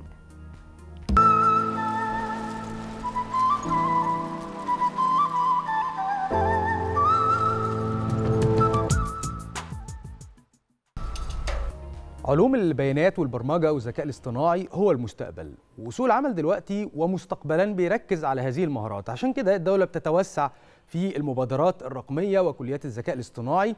عشان يكون الطلاب مواكبين لسوق العمل ومتطلباته من التكنولوجيا مش بس في مصر من بره كمان. أكيد. إزاي نشجع أولادنا إنهم يتعلموا برمجة ويكون عندهم اهتمامات في المجال ده؟ ده اللي هنعرفه من ضيفنا المهندس محمد عزام استشاري إدارة التكنولوجيا وعضو مجلس إدارة الجمعية الدولية لإدارة التكنولوجيا. أهلا وسهلا يا باشمهندس منورنا يا صباح الخير وصباح الخير على مشاهدين حضراتكم. الكرام. باشمهندس زي ما قلنا الذكاء الاصطناعي هو المستقبل. عايزين نعرف من حضرتك إزاي نشجع الولاد إنهم يقدروا يدرسوا المجالات دي. في مبادرات كتير مقدماها ال- الدولة مبادرات رقمية كتير وابتدت تنزل بيها كمان بالسن لغاية سن ابتدائي. فأعتقد إن في حاجات كتير قوي تقدر الولاد تتابع من خلالها. طبعا شكرا على التوعيه حقيقه بهذا الموضوع المهم جدا حقيقه إن التكنولوجيا دايما بتغير الوظائف. ويمكن إحنا في مرحلة بنعيش حالة من التسارع التكنولوجي غير مسبوق. العالم ما شافوش من ولا حتى على مستوى آه، الثورة الصناعية الأولى والثانيه والثالثه والرابعة وما بعدها اللي إحنا عايشين فيها النهارده. وبالتالي إحنا دائما كنا محتاجين مهارات جديدة علشان نقدر نتعامل مع تغير شكل الحياة تغير. شكل الوظيفة. آه، طيب عندنا طريقتين لاكتساب المهارات دي. أما عن طريق التعليم التقليدي اللي إحنا كنا بنروح مدرسة وبنروح جامعة آه، أو التدريب المستمر. وحقيقة مع التسارع دوت التدريب المستمر هو مهارة حقيقة لازم تكون كلنا نعرف نعملها هي قدرتنا على التعلم. إن من غير القدرة على التعلم مفيش مدرسة ولا جامعة على مستوى العالم بدءا من مصر إلى أكبر الجامعات اللي موجودة إذا كانت في الولايات المتحدة أو بريطانيا أو في أي حتة في العالم تقدر تواكب هذا التغير فالمهارة الأساسية حقيقة اللي إحنا دايما بنتكلم فيها آه، إزاي أتعلم؟ لو مم. ما قدرتش آه، أتعلم هبقى عندي مشكلة. أنا اللي عندي مشكلة. أنا دايما بقول الجهل في عصر جوجل هو الاختيار مش العكس. إن المصادر بقت موجودة ومتاحة وبالمجان. فما بالك بقى إن إحنا كدولة مصرية بنتيح كل هذه المهارات الرقمية في أكثر الفروع تخصصا وتقدما. بالمجان بكورسات من أفضل المعاهد اللي. موجودة في العالم كله ويمكن الاستاذه منى كانت بتتكلم إن إحنا بنتكلم في ابتدائي آه إحنا إحنا كان الأول المبادرات كانت في مرحلة الثانوي ومرحلة الجامعة أو حديث التخرج النهارده بنتكلم في سن رابعة ابتدائي يقدر ولادنا يقدروا. يخشوا في هذا الموضوع وبالتالي هي مسؤولية الكل الحقيقة إن إحنا نوعي اولادنا نوعي الأسر عشان تأثير الأسر حقيقة مهم تمام، جدا. طبعا، طبعا. آه، ونقول لهم إن المفاهيم القديمة للدراسة هي هتبقى جزء من الماضي برضه. يعني حتى إيلون ماسك كان لسه متكلم قال لك طريقة التعليم التقليدي دي هي مش هتواكب التغير السريع جدا. وبالتالي إحنا لازم نقول للأب والأم خلوا بالكم آه، بصوا على الولاد. الولاد عامة هم مولودين في جيل رقمي كمان. والتكنولوجيا هي امتداد طبيعي لحواسهم ومداركهم. إنما تعالى نوجههم بقى في هذا الاتجاه. تعالى نقول لهم يا جماعة قدموا على هذه المنصات والمنصات ال- الحكومية موجودة ومتاحة والتسجيل فيها يعني متاح للكل. الحقيقة أنت بتدخل البيانات بتحط اسم المدرسة أو اسم الجامعة. ده حتى كمان في مش مجرد السن الصغير. إحنا بنتكلم الناس اللي عاوزة تعمل نوع من أنواع التحويل للمسار الوظيفي. في مجالات كتيرة جدا زي آه، التسويق الرقمي ال- في مجالات الفنون الرقمية آه، حتى في المجالات المتخصصة زي الذكاء الاصطناعي والواقع المدمج وتحليل البيانات. فهي قدرة الناس ان هي تعرف إن لازم أتعلم لازم أغير. صحيح. آه غير كده هيبقى في مشكلة في ال- الوظائف المتاحة وأنا عندي المهارات والقدرات دي ولا لأ. ف هقول لحضرتك مثال بسيط جدا من كذا شهر بسيط يعني من 3 4 أشهر مثلا ما كانش بيتسال الموظف اللي رايح يشتغل في شركة كبيرة أنت بتعرف تستخدم الذكاء الاصطناعي التوليدي اللي هو زي الحاجات ال generative AI وزي الحاجات ال chatbots والحاجات بتعرف تستخدمها ولا لأ؟ النهارده بتتسأل. أنت بيديله سؤال بيقول له آه اسأل ال chatbot أو اسأل هذا الآلة المبنية على الذكاء الاصطناعي سؤال علشان أنت لو ما عرفتش تسأله السؤال المظبوط هيجي لك إجابة خاطئة تماما. مم. فدي مهاره إحنا بنتكلم في شهور. فما بال حضرتك بقى إن إحنا كنا زمان بنحت- بنحتاج لسنوات عشان نغير آه، مهاراتنا أو نكتسب مهارة جديدة. النهارده لكن بنتكلم دلوقتي في أسابيع. التطورات آه متلاحقة. طيب وإحنا بنتكلم دلوقتي إنه في مناهج بيتم إعدادها للأطفال سن أربع سنين. إزاي بيتم إعداد منهج مناسب لهذه المرحلة العمرية؟ الموضوع بسيط جدا. حقيقه إن بيبقى كل مرحلة عمرية فيها مجموعة من المهارات والمفاهيم بديها له. فيمكن إحنا ما بنتكلمش في المرحلة دي على التخصصات الدقيقة إنما بنتكلم على المفاهيم على مش بنصعب الدنيا قوي على الأطفال خالص بنحاول طبعاً. نبسط آه عشان يدخلوا بس المجال وبعد كده تدريجيا الأمور بتزداد صعوبة بقى. إلا مش صعوبة والله هي فكرة آه، هتزداد تقدما. خلينا. نقول إن أنت ممكن تلاقي في السن اللي هو بتاع رابعة ابتدائي يعني بنتكلم في 10 سنين 11 مم. سنة مثلا آه، حد متميز جدا يقدر ينتقل إلى آه، مرحلة أعلى. وهي دي ميزة التدريب ال- عن طريق المنصات حقيقة. إن أنا مش محتاج إن أنا أصل لمرحلة آه، أخلصها وبعد كده عشان أخش المرحلة اللي بعديها. أنا ممكن ألاقي آه، طفل أو شاب متميز جدا وبالتالي أنا لما بخش أبص على مهاراته أقول له لا أنت آه، يقفز لمراحل دقيقة. طبعا وممكن تقفز إلى مراحل أكثر تقدما تصل مم. إلى مرحلة الخبراء. إن هذا الفروع هي كمان الناس لازم تعرف وال- والأسرة المصرية لازم تعرف والمجتمع كله لازم يعرف إن في نقص شديد جدا في هذه المهارات في العالم كله. وإذا كان حتى على مستوى الدول الأكثر تقدما أكبر اقتصاد في العالم هو الاقتصاد الأمريكي في الصيني ودول أكبر منتجين للتكنولوجيا في العالم. الدولتين دول مع احجامهم مع نظام تعليمهم عندهم نقص في هذه النوعية من المهارات ونفس الحكاية على دول الاتحاد الأوروبي. فإحنا بنفتح مجال كبير جدا للعمل لمجموعة من الشباب اللي هو هيبقى مؤهل. حقيقة. أنا لازم أركز على حتة إن هو لازم يكون مؤهل. في مجالات عابرة للحدود بطبيعتها حتى أنا ممكن أشتغل آه، عن بعد أنا ممكن آه، أشتغل في المواعيد اللي تناسبني أنا مم. ممكن أختار نوعية العمل اللي أنا عايزه وفي نوعية أخرى ما أحبهاش مش هعملها.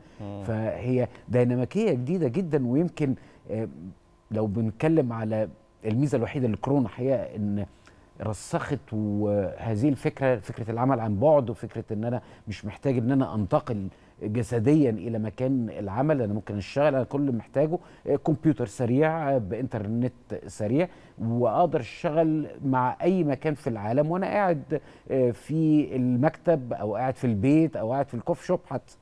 أكيد. طيب باشمهندس إحنا بيتنازعنا كآباء شعورين.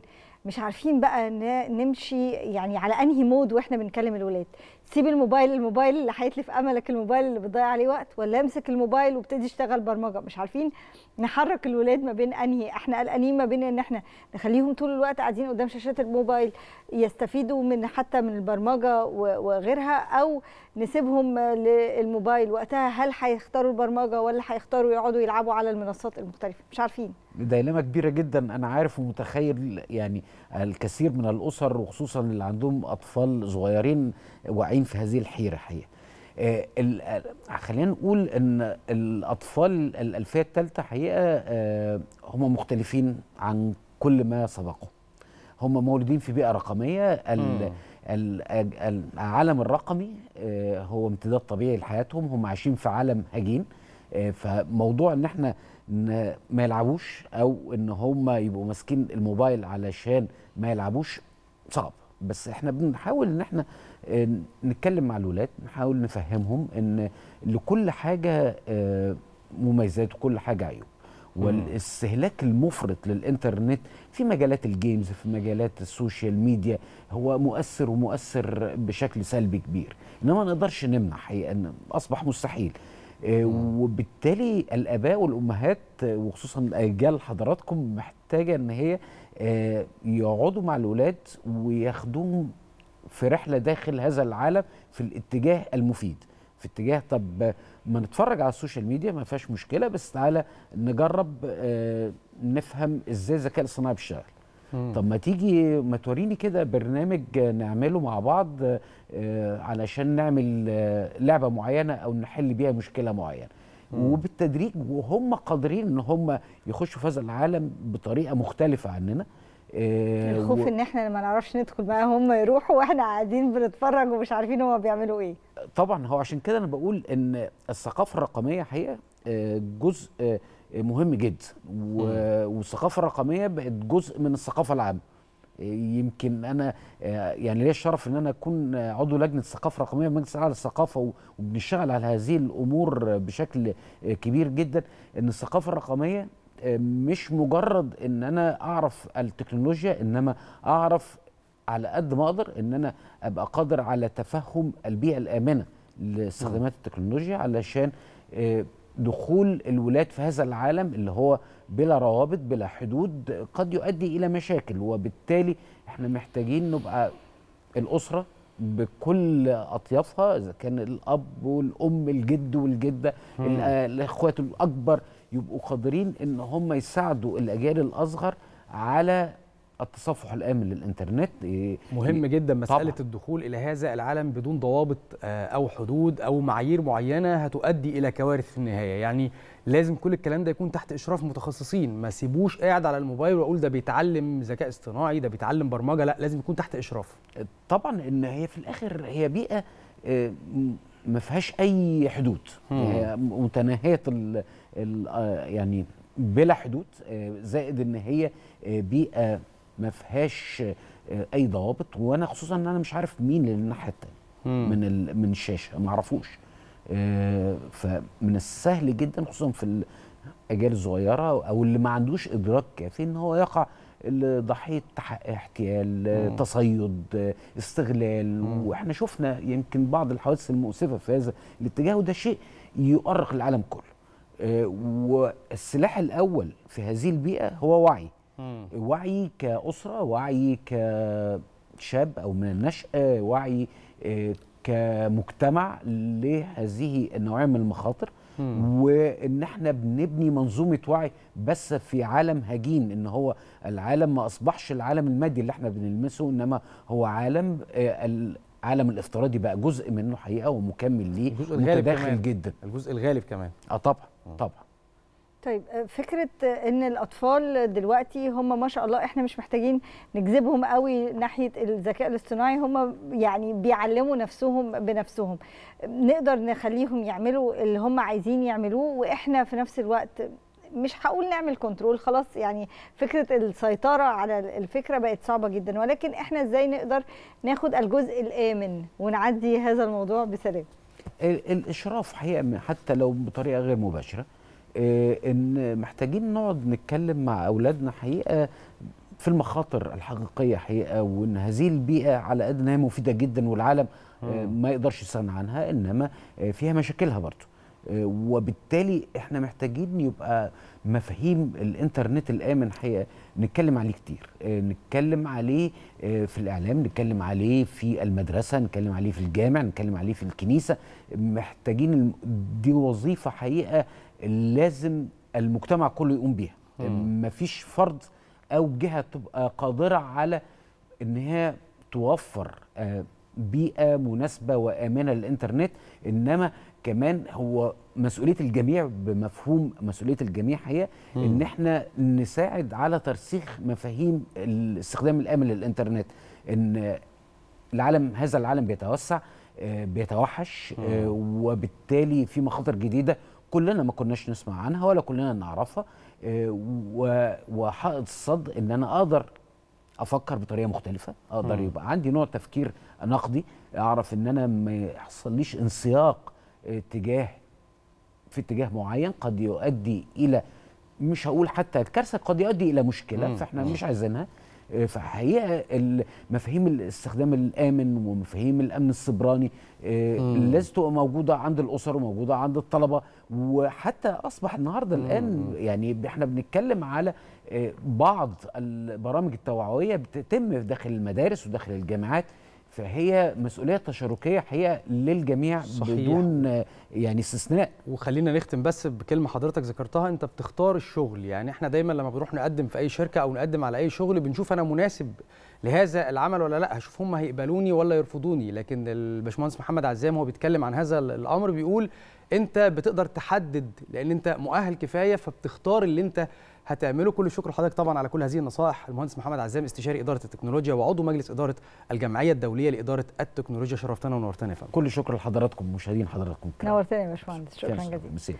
مشاهدينا دلوقتي هنسيب حضراتكم مع موجز لأهم الأنباء مع دينا اتفضلي يا دينا. شكرا لك من التاسعة صباحا بتوقيت القاهرة السادسة بتوقيت جرينتش موجز الأخبار من التلفزيون المصري. أهلا بكم.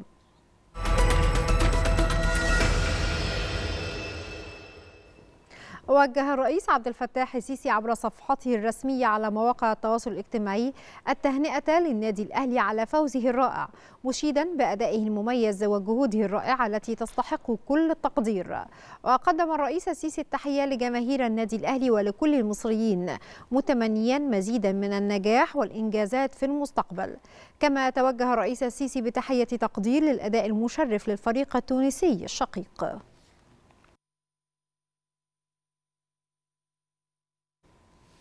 توجه وزير الخارجية سامح شكري من باريس إلى العاصمة البلجيكية بروكسل وذلك للمشاركة في اجتماع مشترك لمجلس الشؤون الخارجية للاتحاد الأوروبي مع عدد من وزراء الخارجية العرب وأمين عام جامعة الدول العربية وذلك لبحث الأوضاع في غزة.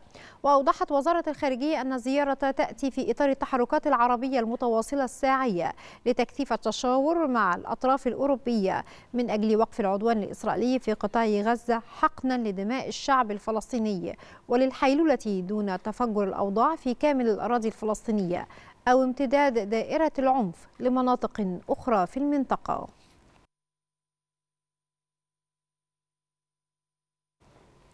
استشهدت طفلة وأصيب آخرون إثر قصف للاحتلال الإسرائيلي استهدف منزلا شمال رفح الفلسطينية جنوب قطاع غزة. وأفادت مصادر محلية بأن طائرات الاحتلال الحربية قصفت منزلا لعائلة فلسطينية في منطقة خربة العدس. ما أدى لاستشهاد الطفلة وإصابة وفقدان آخرين. كما قصفت مدفعية الاحتلال المناطق الغربية لمخيم جبلية بالتزامن مع التوغل آليات الاحتلال المستمر في المخيم منذ أسبوعين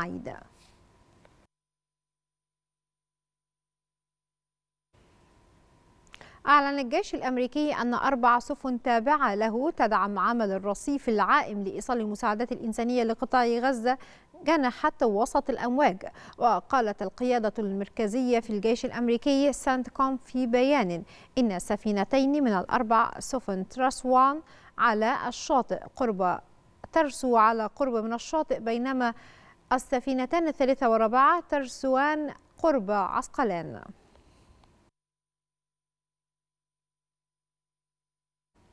لقي عدد من الأشخاص مصرعهم جراء حريق اندلع في منتزه مكتظ في الهند. وقال مسؤولون هنود إن الحريق أودى بحياة 24 شخصا معظمهم من الأطفال بينما نقل ستة آخرون إلى المستشفى. وأشار المسؤولون إلى أن الشرطة ألقت القبض على أربعة أشخاص لاستجوابهم بشأن الحادث.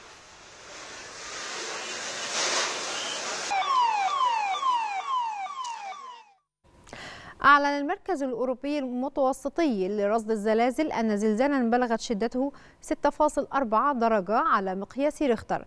ضرب جزر فانو تاو في جنوب المحيط الهادي. وأضاف المركز الأوروبي أن الزلزال وقع على عمق 25 كيلو مترا ولم ترد أنباء حتى الآن عن وقوع أضرار بشرية أو مادية جراء الزلزال.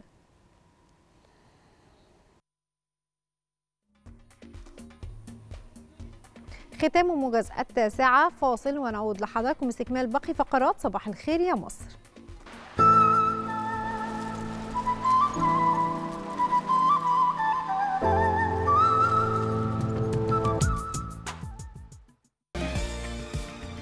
في اهتمام كبير بالمشاركة المجتمعية في صنع القرار في كتير من المجالات وده يمكن ظهر من خلال منصة حوار واللي بتعتبر أكبر منصة للتواصل بين الحكومة والمواطنين.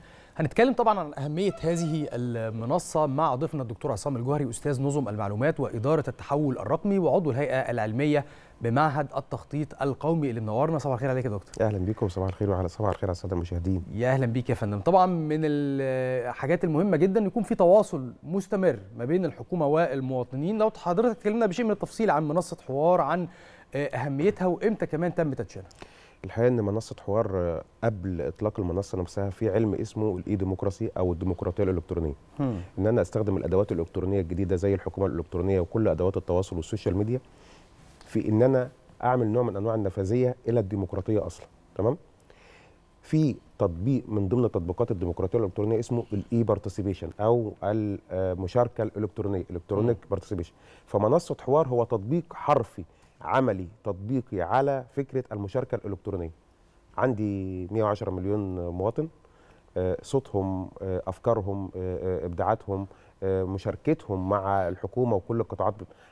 عايزينه يوصل. بقى في النهارده نفاذية جديدة بقى في قنوات تواصل جديدة زي الإنترنت زي ال social media. فكان لابد إن الحكومة يكون عندها أكتر من نوع من أنواع قنوات التواصل. جت الحكومة عملت في المحليات حاجة اسمها مبادرة سمعنا صوتك. بتستخدم تطبيقات الواتس بتستخدم موقع وزارة التنمية المحلية في إن الناس تقدر تبعت لو عندها شكوى في مجال المحليات. جه مجلس الوزراء وعمل حاجة تانية في التواصل التواصل أو المشاركة الإلكترونية. عمل منظومة شكاوى مجلس الوزراء. بقت عندك قدرة إن أنت لو عايز تشتكي أو عندك مظلمة ما تجاه أي جهة حكومية أو أي موظف حكومي أو أي مشكلة بتواجهك إنك تقدر تتواصل مع الحكومة. استكمالا لمنظومة التواصل والمشاركة الإلكترونية طب أنا بقى لو عندي فكرة أنا ما عنديش شكوى. أنا مواطن أو أنا خبير أو أنا حد عنده فكرة عايز يساعد بها بلده عايز يساعد بها فتصدى. مركز دعم اتخاذ القرار أحد المؤسسات العريقة التابعه لمجلس الوزراء في إنه يعمل منصة اسمها منصة حوار. الكلام ده كان تقريبا من حوالي سنة. الغرض من منصة حوار مش الشكاوى بقى. إحنا خلاص في جهتين اخر أخريتين عندها قنوات تواصل مع الجماهير لأي حاجة أخرى. إنما النهارده أنا عايز أطرح فكرة لتطوير قطاع من قطاعات الاستثمار لتطوير مم. قطاع من قطاعات الطاقة قطاعات البيئة. مجرد إن أنا أكتب فكرة بياخدوها ويعرضوها على المسؤولين. مم. فالنهاردة لو حضرتك دخلت على المنصة هتلاقي في 400 آه، 400 420 فكرة المواطنين العاديين كاتبينهم. حقي كمواطن لو عندي فكرة وعايز أعرضها على الحكومة فده كان أول نوع أو أول بند في منصة حوار. تمام. الحاجة الثانية في منصة حوار طيب في مواطنين عندهم أفكار. كذلك عندنا خبراء أساتذة الجامعات آه، دكاترة آه، مهندسين عندهم خبرات ما آه، أطباء عندهم خبرات ما وعنده فكرة. فبقى في جزء كمان للخبراء. هنا بقى يعني ال- المقترح أو الموضوع بقى أكثر تعقيدا شوية بقى أكثر آه، آه، أهمية شوية بقى في نوع من أنواع الدراسة المسبقة له. طيب هل اكتفت منصة حوار التابعه لمركز دعم اتخاذ القرار بأن يكون في بند للأفكار وبند للخبراء؟ لا عملت كمان حاجة مهمة جدا. عملت حاجة اسمها منتدى الحكومة. بنطرح كل شهر مثلا موضوع أو اتنين أو تلاتة وليكن هناخد موضوع البيئة. واللي عايز يخش يسجل وفي كأننا في ورشة عمل ورشة نقاش على مدار الشهر. حضرتك دخلت أستاذ محمد راح داخل كاتب حاجة عن آه، مشكلة من مشاكل آه، الطاقة. رحت أنا داخل متصدي إليها وكاتب والله دي ممكن إن إحنا نحلها عن طريق كذا كذا كذا. راح زميل ثالث داخل قال لا ما ينفعش لأن تشريعيا الحل ده مش مش هينفع. جميل. دخل رابع قال لا استنوا ال- القضية في هذا الموضوع تخص التمويل. إحنا محتاجين تمويل. آه، طيب. راح دخل حد تاني قال لا ده التمويل ممكن نجيبه من القطاع الخاص مش من الحكومة. فبقت آه، دائرة حوار. مستديرة حوار حقيقي. خبراء مع مواطنين مع قطاعات حكومية. الهدف والغرض في الآخر إن في تواصل حقيقي ما بين المواطنين والخبراء والمفكرين مع حكومتهم. المخرج والمنتج ده كله بيبدا بيرجع يتوزع على آه، ال- الجهات المسؤولة عن الأفكار أو عن المشروعات اللي إحنا بنتكلم عليها. فمنصة حوار مرة تانية برضو هي تطبيق عملي على فكرة المشاركة الإلكترونية للمواطنين مع حكومتهم في تحسين اتخاذ القرار. معمولة بقى لها قد إيه بقى المنصة؟ بقى لها سنة. بقى لها سنة تقريبا. نعم. طيب الحوار قائم على إن الناس بتبعت أفكارها وبيحصل أي نوع من أنواع الرد ولا بيتحط in consideration يعني أو بي- بيؤخذ الرأي في الاعتبار؟ خصوصا إن بيبقى في مجتمع بحثي يعني في ناس كتير قوي في مراكز البحوث المختلفة في آه، عندها رسائل ماجستير ودكتوراه بتبقى عندها أفكار قابلة للتطبيق بالفعل ابتدت تعملها وهدفها إنها توصل أكتر في أجزاء منها مرتبطة بإن أنت تعرض الفكرة وفي ناس تخش تعمل لك voting فالفكرة دي تطلع مم. فوق لأن الناس معجبين بالفكرة مم. ده track ال track الثاني المنتدى اللي اتكلمنا عنه اللي بيبقى فيه نوع من أنواع آه، التواصل والردود والمناقشة للفكرة وفي الخاص بالخبراء ده ممكن تقدر تعمل عملية تحميل ل- ل- لملفات. ففي كل الأنواع اللي حضرتك سألت عليها يعني. طيب هل في موضوعات معينة ب... ب... بتتحدد مثلا؟ إحنا فاتحين مثلا الحوار عن الطاقة دلوقتي. نعم. فبنسمع مقترحات الناس ومقترحات الخبراء والمختصين وحالة الحوار اللي حضرتك ذكرتها دي. نعم. هل بيبقى في موضوعات معينة ولا الموضوع مفتوح لأي لا، حد عنده أي فكرة؟ منتدى الحكومة. آه. القطاع المرتبط في منصة حوار بمنتدى الحكومة بيتحدد مواضيع زي ما. حضرتك بتقول وليكن الصناعة وليكن السياحة بتتفتح في فترة مثلا من 26 4 ل 26 مايو مم. اللي عايز يدلو بدلو في الفترة دي عن السياحة هتلاقي حضرتك لما تخش على ال- على المنصة آه موضوع السياحة آه، مازال مفتوح فاللي عايز يدلو بدلو يدلو بدلو مم. طب القطاع الاستثمار كان في مارس مكتوب عليه منتهي سهل جدا التصفح وبالمناسبة ال- منصة حوار هي موجودة على الانترنت آه على موقع لكن سهل جدا إنك تعمل لها أكسس من خلال الموبايل يعني تقدر تستخدمها بالموبايل بمنتهى السهولة لأن هم عاملين واجهة سهلة الاستخدام من خلال آه، آه، الموبايل بمناسبة الموبايل وبمناسبة الانترنت إحنا النهارده عدينا ال 82 مليون آه، مستخدم على الانترنت طبقا لآخر تقرير في يناير 24 الشعب كله تقريبا آه، طبعا آه، آه لما تستبعد آه. الس- آه، صغار طبعاً. السن آه، آه. أو بعض الأميين آه الشعب كله 45 مليون موجودين على السوشيال ميديا متوسط استخدام 7 8 ساعات آه للمصريين يوميا على الإنترنت. فيعني الناس موجود كل موجودة كلها يعني على بتستخدم التكنولوجيا وموجودة على الإنترنت. فهنا أهمية هذه المنصات.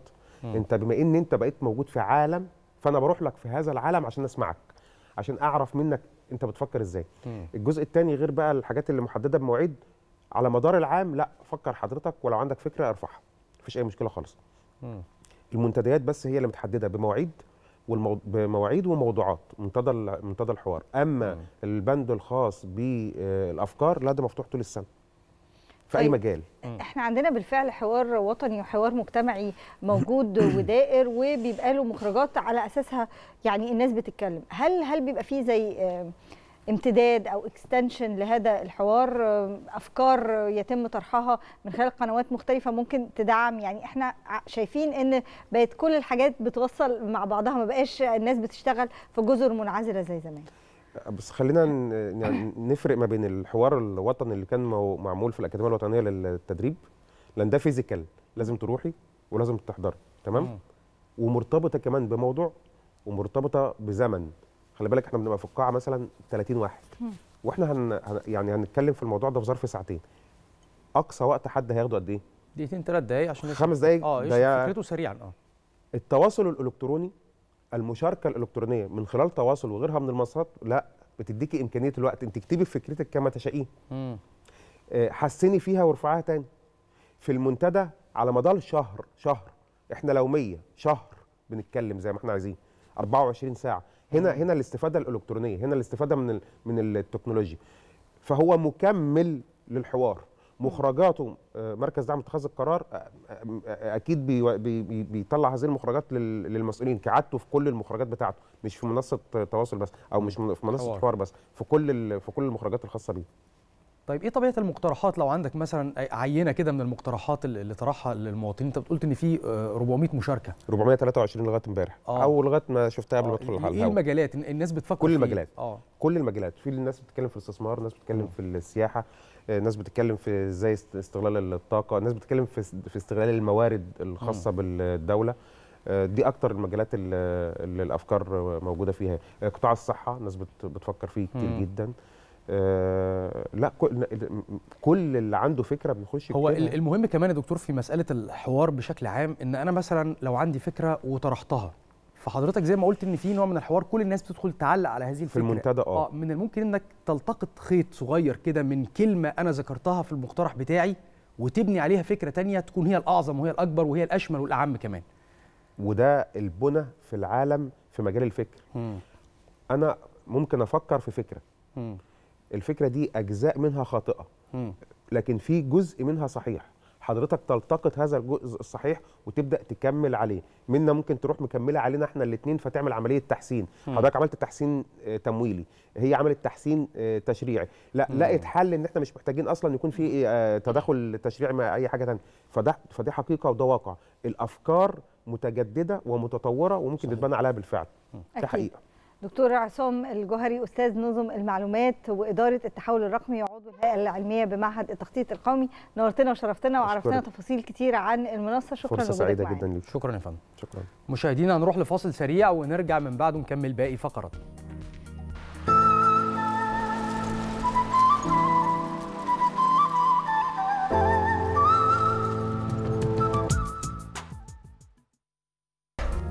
امبارح الرئيس افتتح عدد من المشروعات التنموية بجنوب الوادي بالإضافة طبعا إلى موسم حصاد القمح في مشروع توشكا أربعة واللي ساهم بشكل كبير في زيادة الإنتاجية من محصول القمح هذا الموسم. خلينا نعرف تفاصيل أكتر عن الزراعة في جنوب الوادي ومشروع توشكا ودورهم في توفير المحاصيل الاستراتيجية. مرحب بضيفنا الدكتور علاء خليل مدير معهد المحاصيل الحقلية بوزارة الزراعة. أهلا وسهلا يا دكتور أهلا منور. بحضرتك يا صباح الخير يا فندم. صباح الخير يا أستاذ محمد واهلا بكل السادة مشاهدي صباح الخير يا مصر. أهلا وسهلا بحضرتك. دكتور بداية الدولة بتولي قطاع الزراعة اهتمام كبير جدا وإحنا ملاحظين ده آه، على آه، يعني مدار الفترة اللي فاتت. لو حضرتك تكلمنا عن أهمية الزراعة في جنوب الوادي إحنا شايفين تأثير إيجابي لمشروع توشكا على الزراعة بصفة عامة وشايفين إن إحنا توشكا كانت لفترة طويلة إحنا حاسين إنها مشروع وكان باظ بقى ولا إيه اللي جرى ولكن الحمد لله لقينا ثمار جيدة جدا. آه، في البداية يعني ما يحدث في مصر الآن لم يحدث من أكثر من 200 سنة. يمكن آه، مش عارف شهادتنا مجروحة في حق زعيم آه، اتخذ القرار الصحيح. الدولة أو لا دولة. كان كان هذا الخيار. كان من السهل عليه إن هو آه، نعيش زي ما كنا عايشين. لكن الحياة والمواطن هو اختار القرار الأصعب إن إحنا نبقى دولة. وفعلا يمكن ده كبدنا الكثير. يمكن إحنا امبارح في في الافتتاح آه، بيقول انقلوا للمواطنين المجهودات والتحديات اللي حوالين الدولة. دولة زيادة السكان 25 مليون خلال 10 سنين أو 12 سنة. بالإضافة إلى أخواننا آه، ضيوف مصر الأعزاء 9 مليون 9 مليون مواطن. أين دولة هتتحمل كل هذا الضغط؟ تحديات. فقر فقر مائي زيادة عدد السكان. اذا تحدي قرار قرار جريء نكون أو لا نكون. واختار القرار الصعب. يمكن إحنا من الأسبوع اللي قبل اللي فات كنا بنشهد افتتاح موسم الحصاد في مستقبل مصر دلتا الجديدة.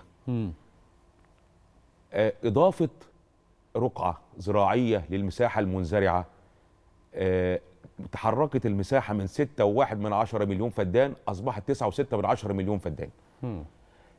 لما نقول إن الفدان الواحد بيكلف 250 ألف جنيه يبقى إذا الدولة بذلت الكثير من الجهد والمال عشان توفير حياة كريمة للمواطن المصري. ولما نيجي نتكلم على القمح بنقول هو لقمة العيش هو رغيف الخبز.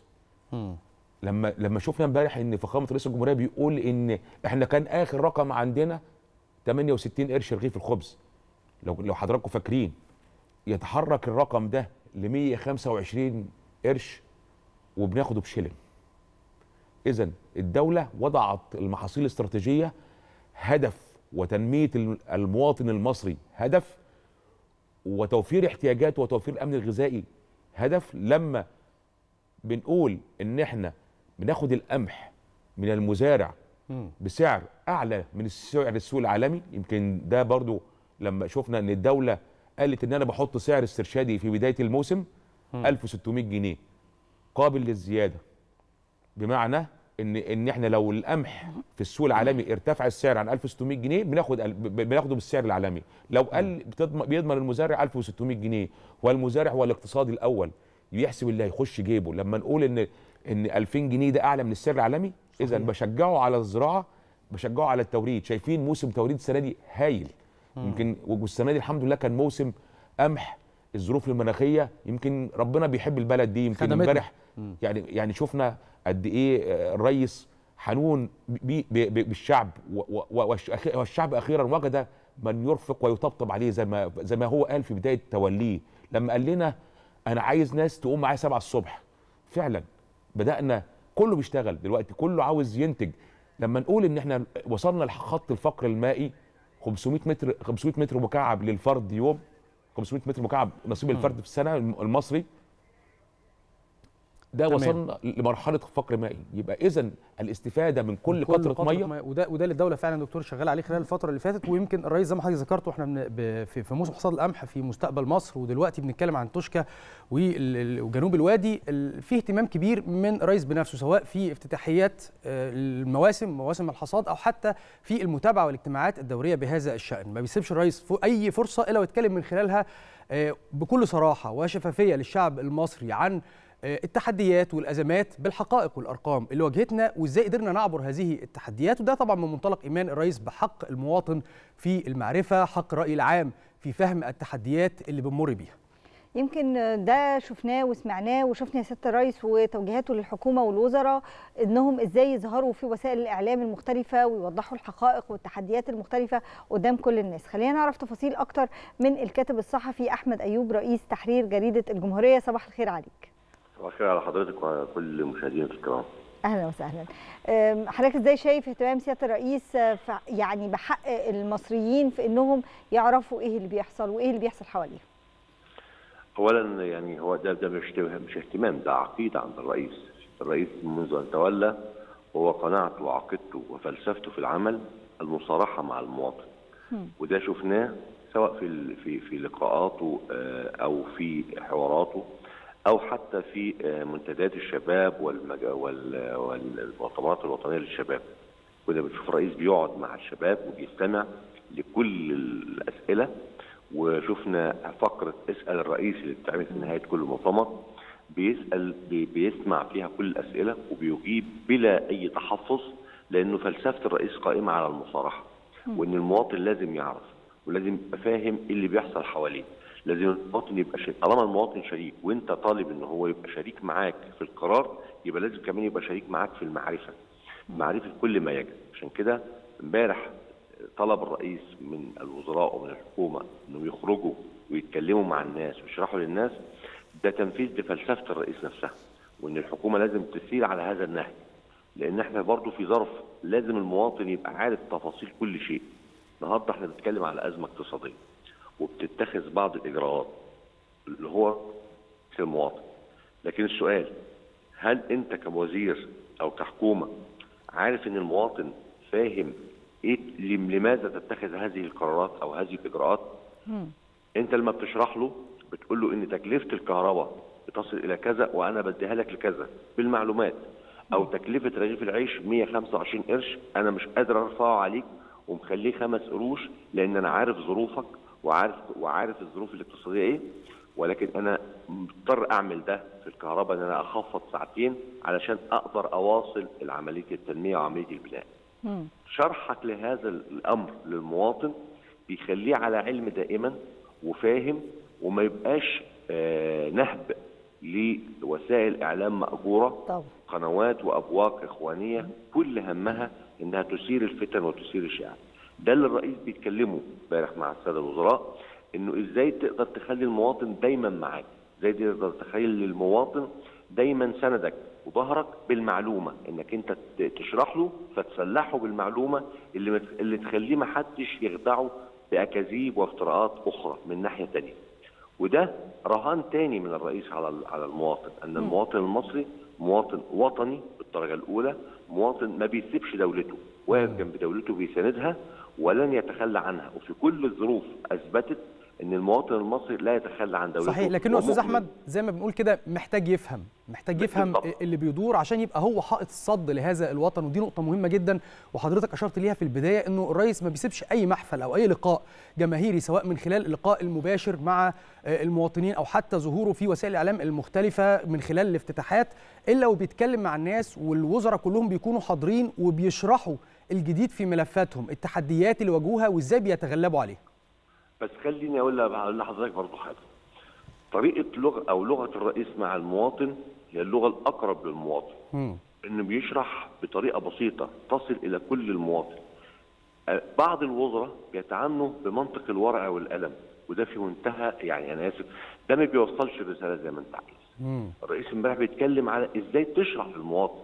مش إن أنا ادي لك معلومات وبس لأ القضية عندي أنا كاعلامي وعند حضرتك عند حضراتكم إن إزاي المسؤول ده مش انه يخرج ويتكلم فقط لا يخرج إزاي ويتكلم إزاي مع المواطن.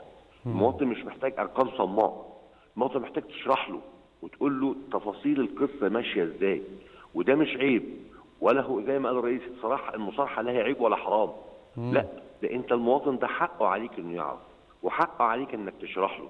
فبعض الوزراء وبعض المسؤولين بيخرجوا اولا أغلبهم ما بيخرجوش يتكلموا.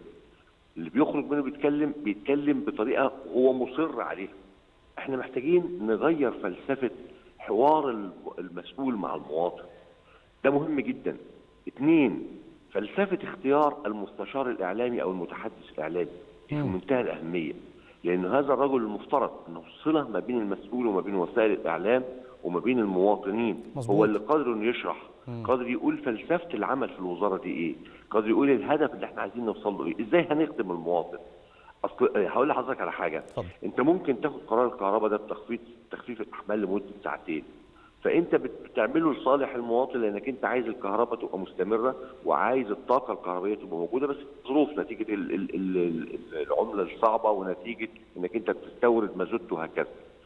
فأنت بتعمل ده لصالح المواطن. بس اللي بيصدر إن الحكومة ما بتعملوش لصالح المواطن. انت بتعمل ده نتيجة ظرف عندك. حصل نتيجة الأزمة الاقتصادية. إزاي تشرحه؟ لأن اللي مصدر الله امال فين الكهرباء اللي انت اللي انت بتقول انك انت انجزت فيها على مدى 10 سنين وعملت محطات ضخمة وعندك فائض كهرباء. المواطن عنده فهم إن في فائض كهرباء موجود. طب إزاي بتقطع عني ساعتين؟ لكن انت لما بتخرج تقول له آه أنا عندي فائض وأقدر أشغلك اربعه أشغلك الكهرباء 24 ساعة بس خلي بالك ال- الشغل ده هيبقى تكلفته عالية جدا وأنا مش عايز أحملك. فإحنا قلنا الساعتين دول عشان نقدر نخ- نخلي أسعار الكهرباء زي ما هي وما نرفعش حضرتك بتتكلم عن اللغة المستخدمة وتبسيط الحقائق. يعني الأرقام مهم جدا إنها تكون موجودة للمصداقية وللتأكيد ودي واحد من الحاجات اللي بتحرص عليها دايما الدولة المصرية في الفترة الأخيرة إن يبقى في أرقام بحيث الناس يبقى عندها ريفرنس تقدر ترجع لها وتبقى عارفة ال- الوضع كان إزاي وبقى إزاي. اللغة بقى وتبسيط آه، آه، هذه الأرقام وربطها بواقع الأمر على المنصات المختلفة. أعتقد هو ده اللي هيفرق في الفترة القادمة. بالظبط. دايما زي ما بقول لحضرتك سلحي سلحي المواطن بالمعلومات وبالطريقة اللي تخليه دايما واقف جنبك ودايما قادر يصد أي شائعات وأي أكاذيب. ومش عايزين ننكر ومش عايزين ننسى إن الدولة دي مستهدفة. النهارده كام كام آه نافذة إعلامية وكام صفحات وهمية بتهاجم وبتثير شائعات وبتثير فتن. طب انت النهارده محتاج تتعامل إزاي عشان ترد على ده؟ مش هترد عليه برقم رقم جاف انما هترد بانك تقعد تشرح للناس بهذا الشكل. حتى بالمناسبة سواء اولا الظهور في وسائل الإعلام الدخول في حوارات جادة مع أسئلة المواطنين بجد رقم ثلاثة الوزير نفسه أو المسؤول مش طبعا هنا بتكلم على الوزير لكن في كمان مسؤولين ملفات كتير جدا داخل كل وزارة. مهمته من يتكلموا مع الناس. إزاي يقدر يشرح حتى في جولاته الم- الميدانية؟ لما بينزل إزاي يشرح للناس في الجولات الميدانية إحنا جايين هنا بنعمل إيه؟ وإيه الهدف إن إحنا نعمل ده؟ الطرق دي عملناها ليه؟ طب إحنا مساكن حياة كريمة أو مشروع حياة كريمة ده للقرى شرحنا للناس رغم ده أهم مشروع في تاريخ مصر إنه هيغير حياة 60 مليون. إزاي نقدر نخلي المواطن يحافظ كمان؟ ودي نقطة مهمة. يحافظ على الحاجة اللي بتتعمل لأنه عارف إن تكلفتها غالية جدا وإن الدولة وفرتها بصعوبة جدا إن الدولة عشان تعمل له حياة كريمة قدرت إزاي توفر حوالي تريليون جنيه وده رقم مش سهل. يبقى لازم المواطن يبقى هيحس بمسؤوليته إنه يبقى شريك في الحفاظ على هذا الإنجاز اللي بيتم. لما بنتكلم عن تغيير بنتكلم عن حياة كريمة لكل المصريين بنتكلم عن جمهورية جديدة بنتكلم عن حقوق للمصريين مش بس في الخدمات الأساسية مش في الصحة وفي التعليم وفي توافر خدمات بنتكلم في حق في المعرفة لأن هو ده اللي بنسعى ليه الفترة اللي فاتت إن إحنا كانت توصل لكل المصريين ويمكن بنحاول وبنجتهد إن شاء الله إن إحنا نعمل ونقدم ده في صباح الخير يا مصر. وفي غيرنا من المنصات وفي غيرنا من البرامج. كمان كل الشكر ليك الكاتب الصحفي أحمد أيوب رئيس تحرير جريدة الجمهورية. كل الشكر ليك. طبعا زي ما حضراتكم آه، تابعتوا ال- المواطن له الحق في المعرفة يعرف إيه التحديات اللي بنواجهها والمستقبل عامل إزاي وإزاي نقدر نتغلب على هذه التحديات. وزي ما كانت منا بتقول إحنا في صباح الخير يا مصر حريصين كل الحرص على ده من خلال آه، زياراتنا لكم المشروعات القومية اللي تم افتتاحها أو حتى المشروعات الجاري تنفيذها بنكون موجودين فيها. يعني على سبيل المثال وإحنا بنتكلم دلوقتي على توشكا إحنا عملنا حلقة مفصلة وموسعة لمشروع توشكا من البداية من أول ما دخلنا من البوابه. وعرفنا آه حصل الكلام ده فعلا. من أول ما دخلنا موجود هناك على الأرض الواقع؟ صحيح. آه يعني كنا بنتكلم كمان يعني ال- الحاجات اللي كانت آه، تسببت في تعطل هذا المشروع وتلكؤه آه، لحد ما اتاخد القرار المناسب إن إحنا لازم ندخل في هذا المشروع. اختيار المكان لعمل هذا المشروع كل هذه الأمور يجب على المواطنين إن هم يكونوا عارفينها. نرجع مرة ثانية نكمل كلامنا مع الدكتور علاء خليل مدير معهد المحاصيل الحقلية بوزارة الزراعة. دكتور أهمية إن المواطن يكون عارف حاجة زي دي ويمكن الرئيس في افتتاح آه، مشروع مستقبل مصر كان بيتكلم عن إزاي هنوفر المية لهذا المشروع عرفوا الناس إحنا جبنا المية لهذا المشروع ده إزاي. صحيح واتكلفت كام؟ آه. يعني يعني حضراتكم لما امبارح بن بنتكلم إن إن كمية المية الموفرة لهذا المشروع اولا اختيار هذا المشروع آه، اختيار كان سليم لكن هي كانت عدم توفر الإمكانيات اللازمة لاستكمال هذا المشروع. اللي الدولة بدأت تعمله دلوقتي. لما نقول إن عندنا ثلاث محطات آه، إعادة استخدام مياه الصرف آه، وتأهيلها للزراعة هذه المحطات لما بنقول إن عشان ال- ال- ال- المليار متر مكعب ميه بيتكلف كام؟ دي هذه الكمية من المياه. لما قلنا إحنا وصلنا في مرحلة الفقر المائي آه، فإحنا وصلنا إن إحنا لازم نوفر الميه الدلتا الجديدة الميه اللي كانت بتروح آه، من النهر للبحر آه، محطات رفع. عملاقه يمكن امبارح وهو مع آه، فخامه رئيس الجمهوريه بيفتتح آه، الحصاد. كان في بعض المشروعات التنمويه الأخرى آه، بس هو مش عملية زراعة بس لكن ال- الحياة القائمة على الزراعة تصنيع زراعي مجتمعات سكنية طرق ده- ده كباري مفهوم المجتمع العمراني مجتمع متكامل مت- مجتمع متكامل حياة كريمة زي ما إحنا بنقول تتكلف آه، قد ما تتكلف الدولة شالت عشان هو دي دورها وإحساسها بالمواطن. توفير توفير لقمة العيش توفير الحد الأمن من الغذاء لل- للشعب. آه لما بنقول امبارح بقى كان في عرض لتجربة جميلة لمستثمر مصري ودي دعوة لكل إخواننا المستثمرين سواء المصريين أو العرب.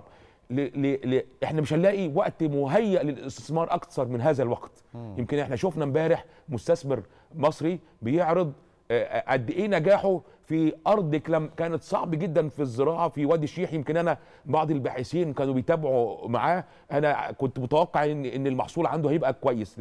يعني منطقة كان غير صالحة للزراعة هيئها وصرف عليها وأصبحت. وطبعا إحنا زي ما فخامة رئيس الجمهورية امبارح قال قال المستثمرين والقطاع الخاص هم شطار شوية عننا وده ما يزعلناش بالعكس يفرحنا ويخلينا نغير إن إحنا نبقى زيهم. هم فعلا دايما بيحط الجنيه في المكان الصحيح عشان يجيب عشان يكسب ما بيخسرش. فهو يكون إنه يستثمر في هذا المجال المجال آه، آه، وبعدين آه، آه، كل تسهيلات الاستثمار آه، دعوة لكل المستثمرين مش هنلاقي أحسن من هذا الوقت للاستثمار كلنا علينا دور كمجت- كمجتمع كمجتمع مدني وهم شركاء معانا شركاء معانا كدولة. المستثمر سواء كان مستثمر مصري أو عربي أو أجنبي هيجد كل الطرق وكل السبل.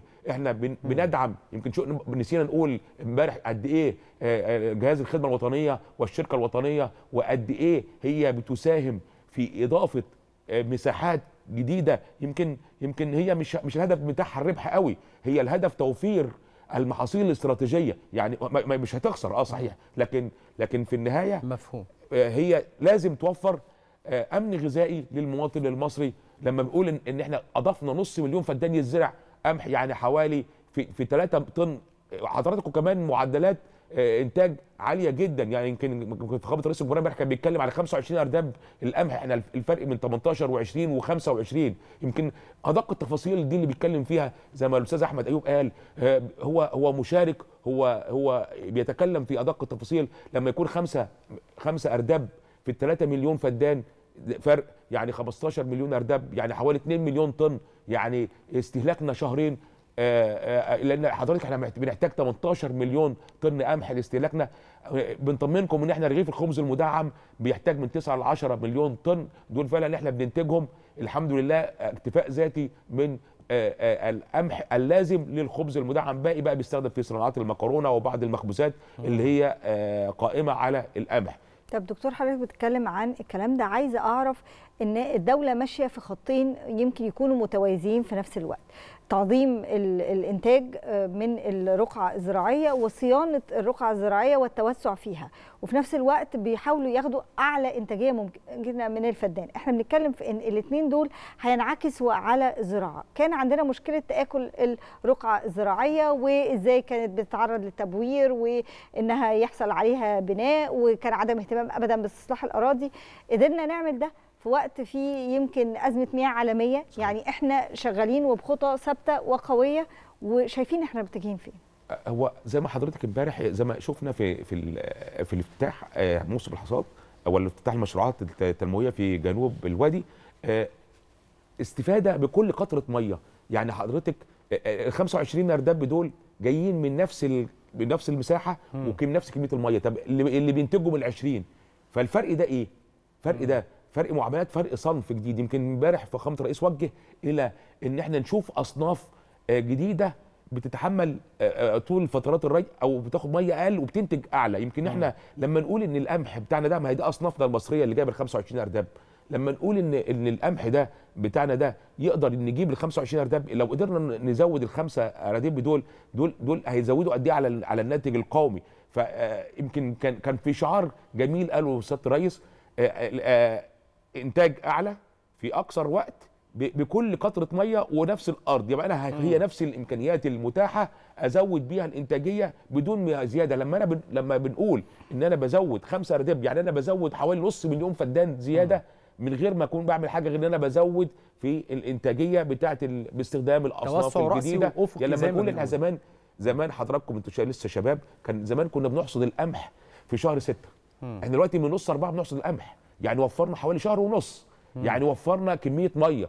يعني يعني وفرنا وقت للاستعداد للمحصول الثاني. لما بن لما بنوفر يعني بنشتغل على على النطاقين. لما بقول إن أنا دلوقتي عندي إن إحنا الإنتاجية حضراتكم ما لحقتوش كان 10 أرداب للفدان. وصلنا 24 أرداب للفدان وكان بياخد وقت قد إيه في الأرض؟ بي- بياخد 170 يوم. 180 يوم. وصلنا دلوقتي ل 145 يوم. و150 يوم. أعتقد كمان نوع ما دي التقاوي دي التقاوي اللي إحنا بقى بنستخدمها يعني. اللي بتعملها وزارة الزراعة اللي دايما توجهات استنباط أصناف جديدة عالية الإنتاجية مقاومة. كمان إحنا عندنا توجه. عدد السنابل مش بنتكلم بس على مدتها طبعا. في المية ولا طبعا. مدة قعدتها طبعا. ولا ده المية. طبعا. دي صنف عدد سنابله وبعدد حبوبه. يعني مم. تحدي كمان بقى تغيرات مناخية. إزاي إن أنت تواجه هذه التغيرات المناخية بأصناف ذكية مناخيا بحيث إنها تتفاعل مع الظروف الجوية وتدي نفس الإنتاجية ودون التأثير على الإنتاجية مم. يعني توفير في الوقت توفير في المية بنقلل فترة النمو بتاعت المحصول من 170 ل ل 145 يوم يعني وفرنا حوالي شهر مم. فده بيوفر قد إيه مية بي والمحافظه على الإنتاجية لأن لأنها عم- عملية صعبة إن أنت تنتج نفس الإنتاجية في فترة أقل لأن العملية زمايلنا المتخصصين عارفين إن العملية دي عملية عكسية. مم. إن إحنا لما لما لما عشان اقصر الفترة هيجي على المحصول. مش ده بس في القمح بس ده عملناه في الذرة عملناه في الرز عملناه في كل المحاصيل الاستراتيجية. وده مجهودات يعني لما نقول إن إحنا في معهد المحاصيل طلعنا 200 صنف وهجين 300 صنف وهجين من الأصناف والمحاصيل الجديدة. ده الصنف بقى حضرتك عشان تعرفوا بيقعد من 10 ل 12 سنة عشان يطلع صنف. فد- فد- فده فده طبعاً. مجهودات مجهودات. في الفترة الأخيرة دي بقى آه، آه، توجه نحو هذه الأصناف نحو آه، أصناف جديدة. طبعا توفير ساعات تخزينية كمان لاستيعاب هذا المحصول. ده برضو ده دور الدولة اللي لا- لا تألو جهدا في إنها توفره. مم. يبقى اذا توسع أفقي بتعمله الدولة ذات مساحات منزرعة 4 مليون فدان هتزود 2 مليون طن قمح آه، في خل... آه، 2027 ده الهدف إن أنا أزود المحصول قمح 22 مليون آه، 2 مليون طن خلال آه، 2027 أزود الذ- الذرة من 400 ل 500 ألف طن وده عارفين مشكلة الذرة والأعلاف آه، إن توفير هذا هذا هذا هذا المحصول للأعلاف وللدواجن والإنتاج الحيواني ده مهم. توفير ال- الأرز إن أنا بحافظ على المساحة المنزرعة من الرز ال- بالعكس بحاول أقللها عشان الفقر المائي مع الإنتاجية العالية. وإحنا في هذه المحاصيل كلها في إنتاجية وحده المساحة أعلى دول العالم في هذه المحاصيل. يعني إحنا م- مش بس إن إحنا آه، لكن كإنتاج كلي لا إحنا مش مش نمرة واحد لأن المساحة محدودة. لكن في إنتاجية وحده المساحة في ال- في ال- في, في هذه المحاصيل بنحتل مكانة دولية. يمكن في في الرز نمرة واحد في القمح الشت الربيعي نمرة واحد في في في الذرة الرابع أو السادس اذا محاصيل العمل في كل النطاقات وعلى كل ال- ال- ال- المجالات مش بس في الزراعة في الصناعة وفي صحيح. التجارة واستخدام القيمة المضافة بالتحول من من من منتج خام إلى منتج مصنع وده بحيث وده إن مهم إحنا جدا. ندخل كمان في الدائرة كاملة بقى توفير فرص عمل بالظبط. توفير مجتمعات تنموية كاملة. ما يبقاش الموضوع قائم على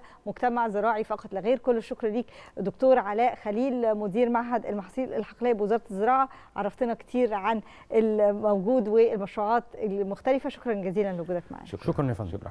بكده مشاهدينا نكون وصلنا لختام حلقتنا. بنشكر حضراتكم طبعا على المتابعة. بكرة إن شاء الله حلقة جديدة من صباح الخير يا مصر في نفس الميعاد وصباحكم زي الفل.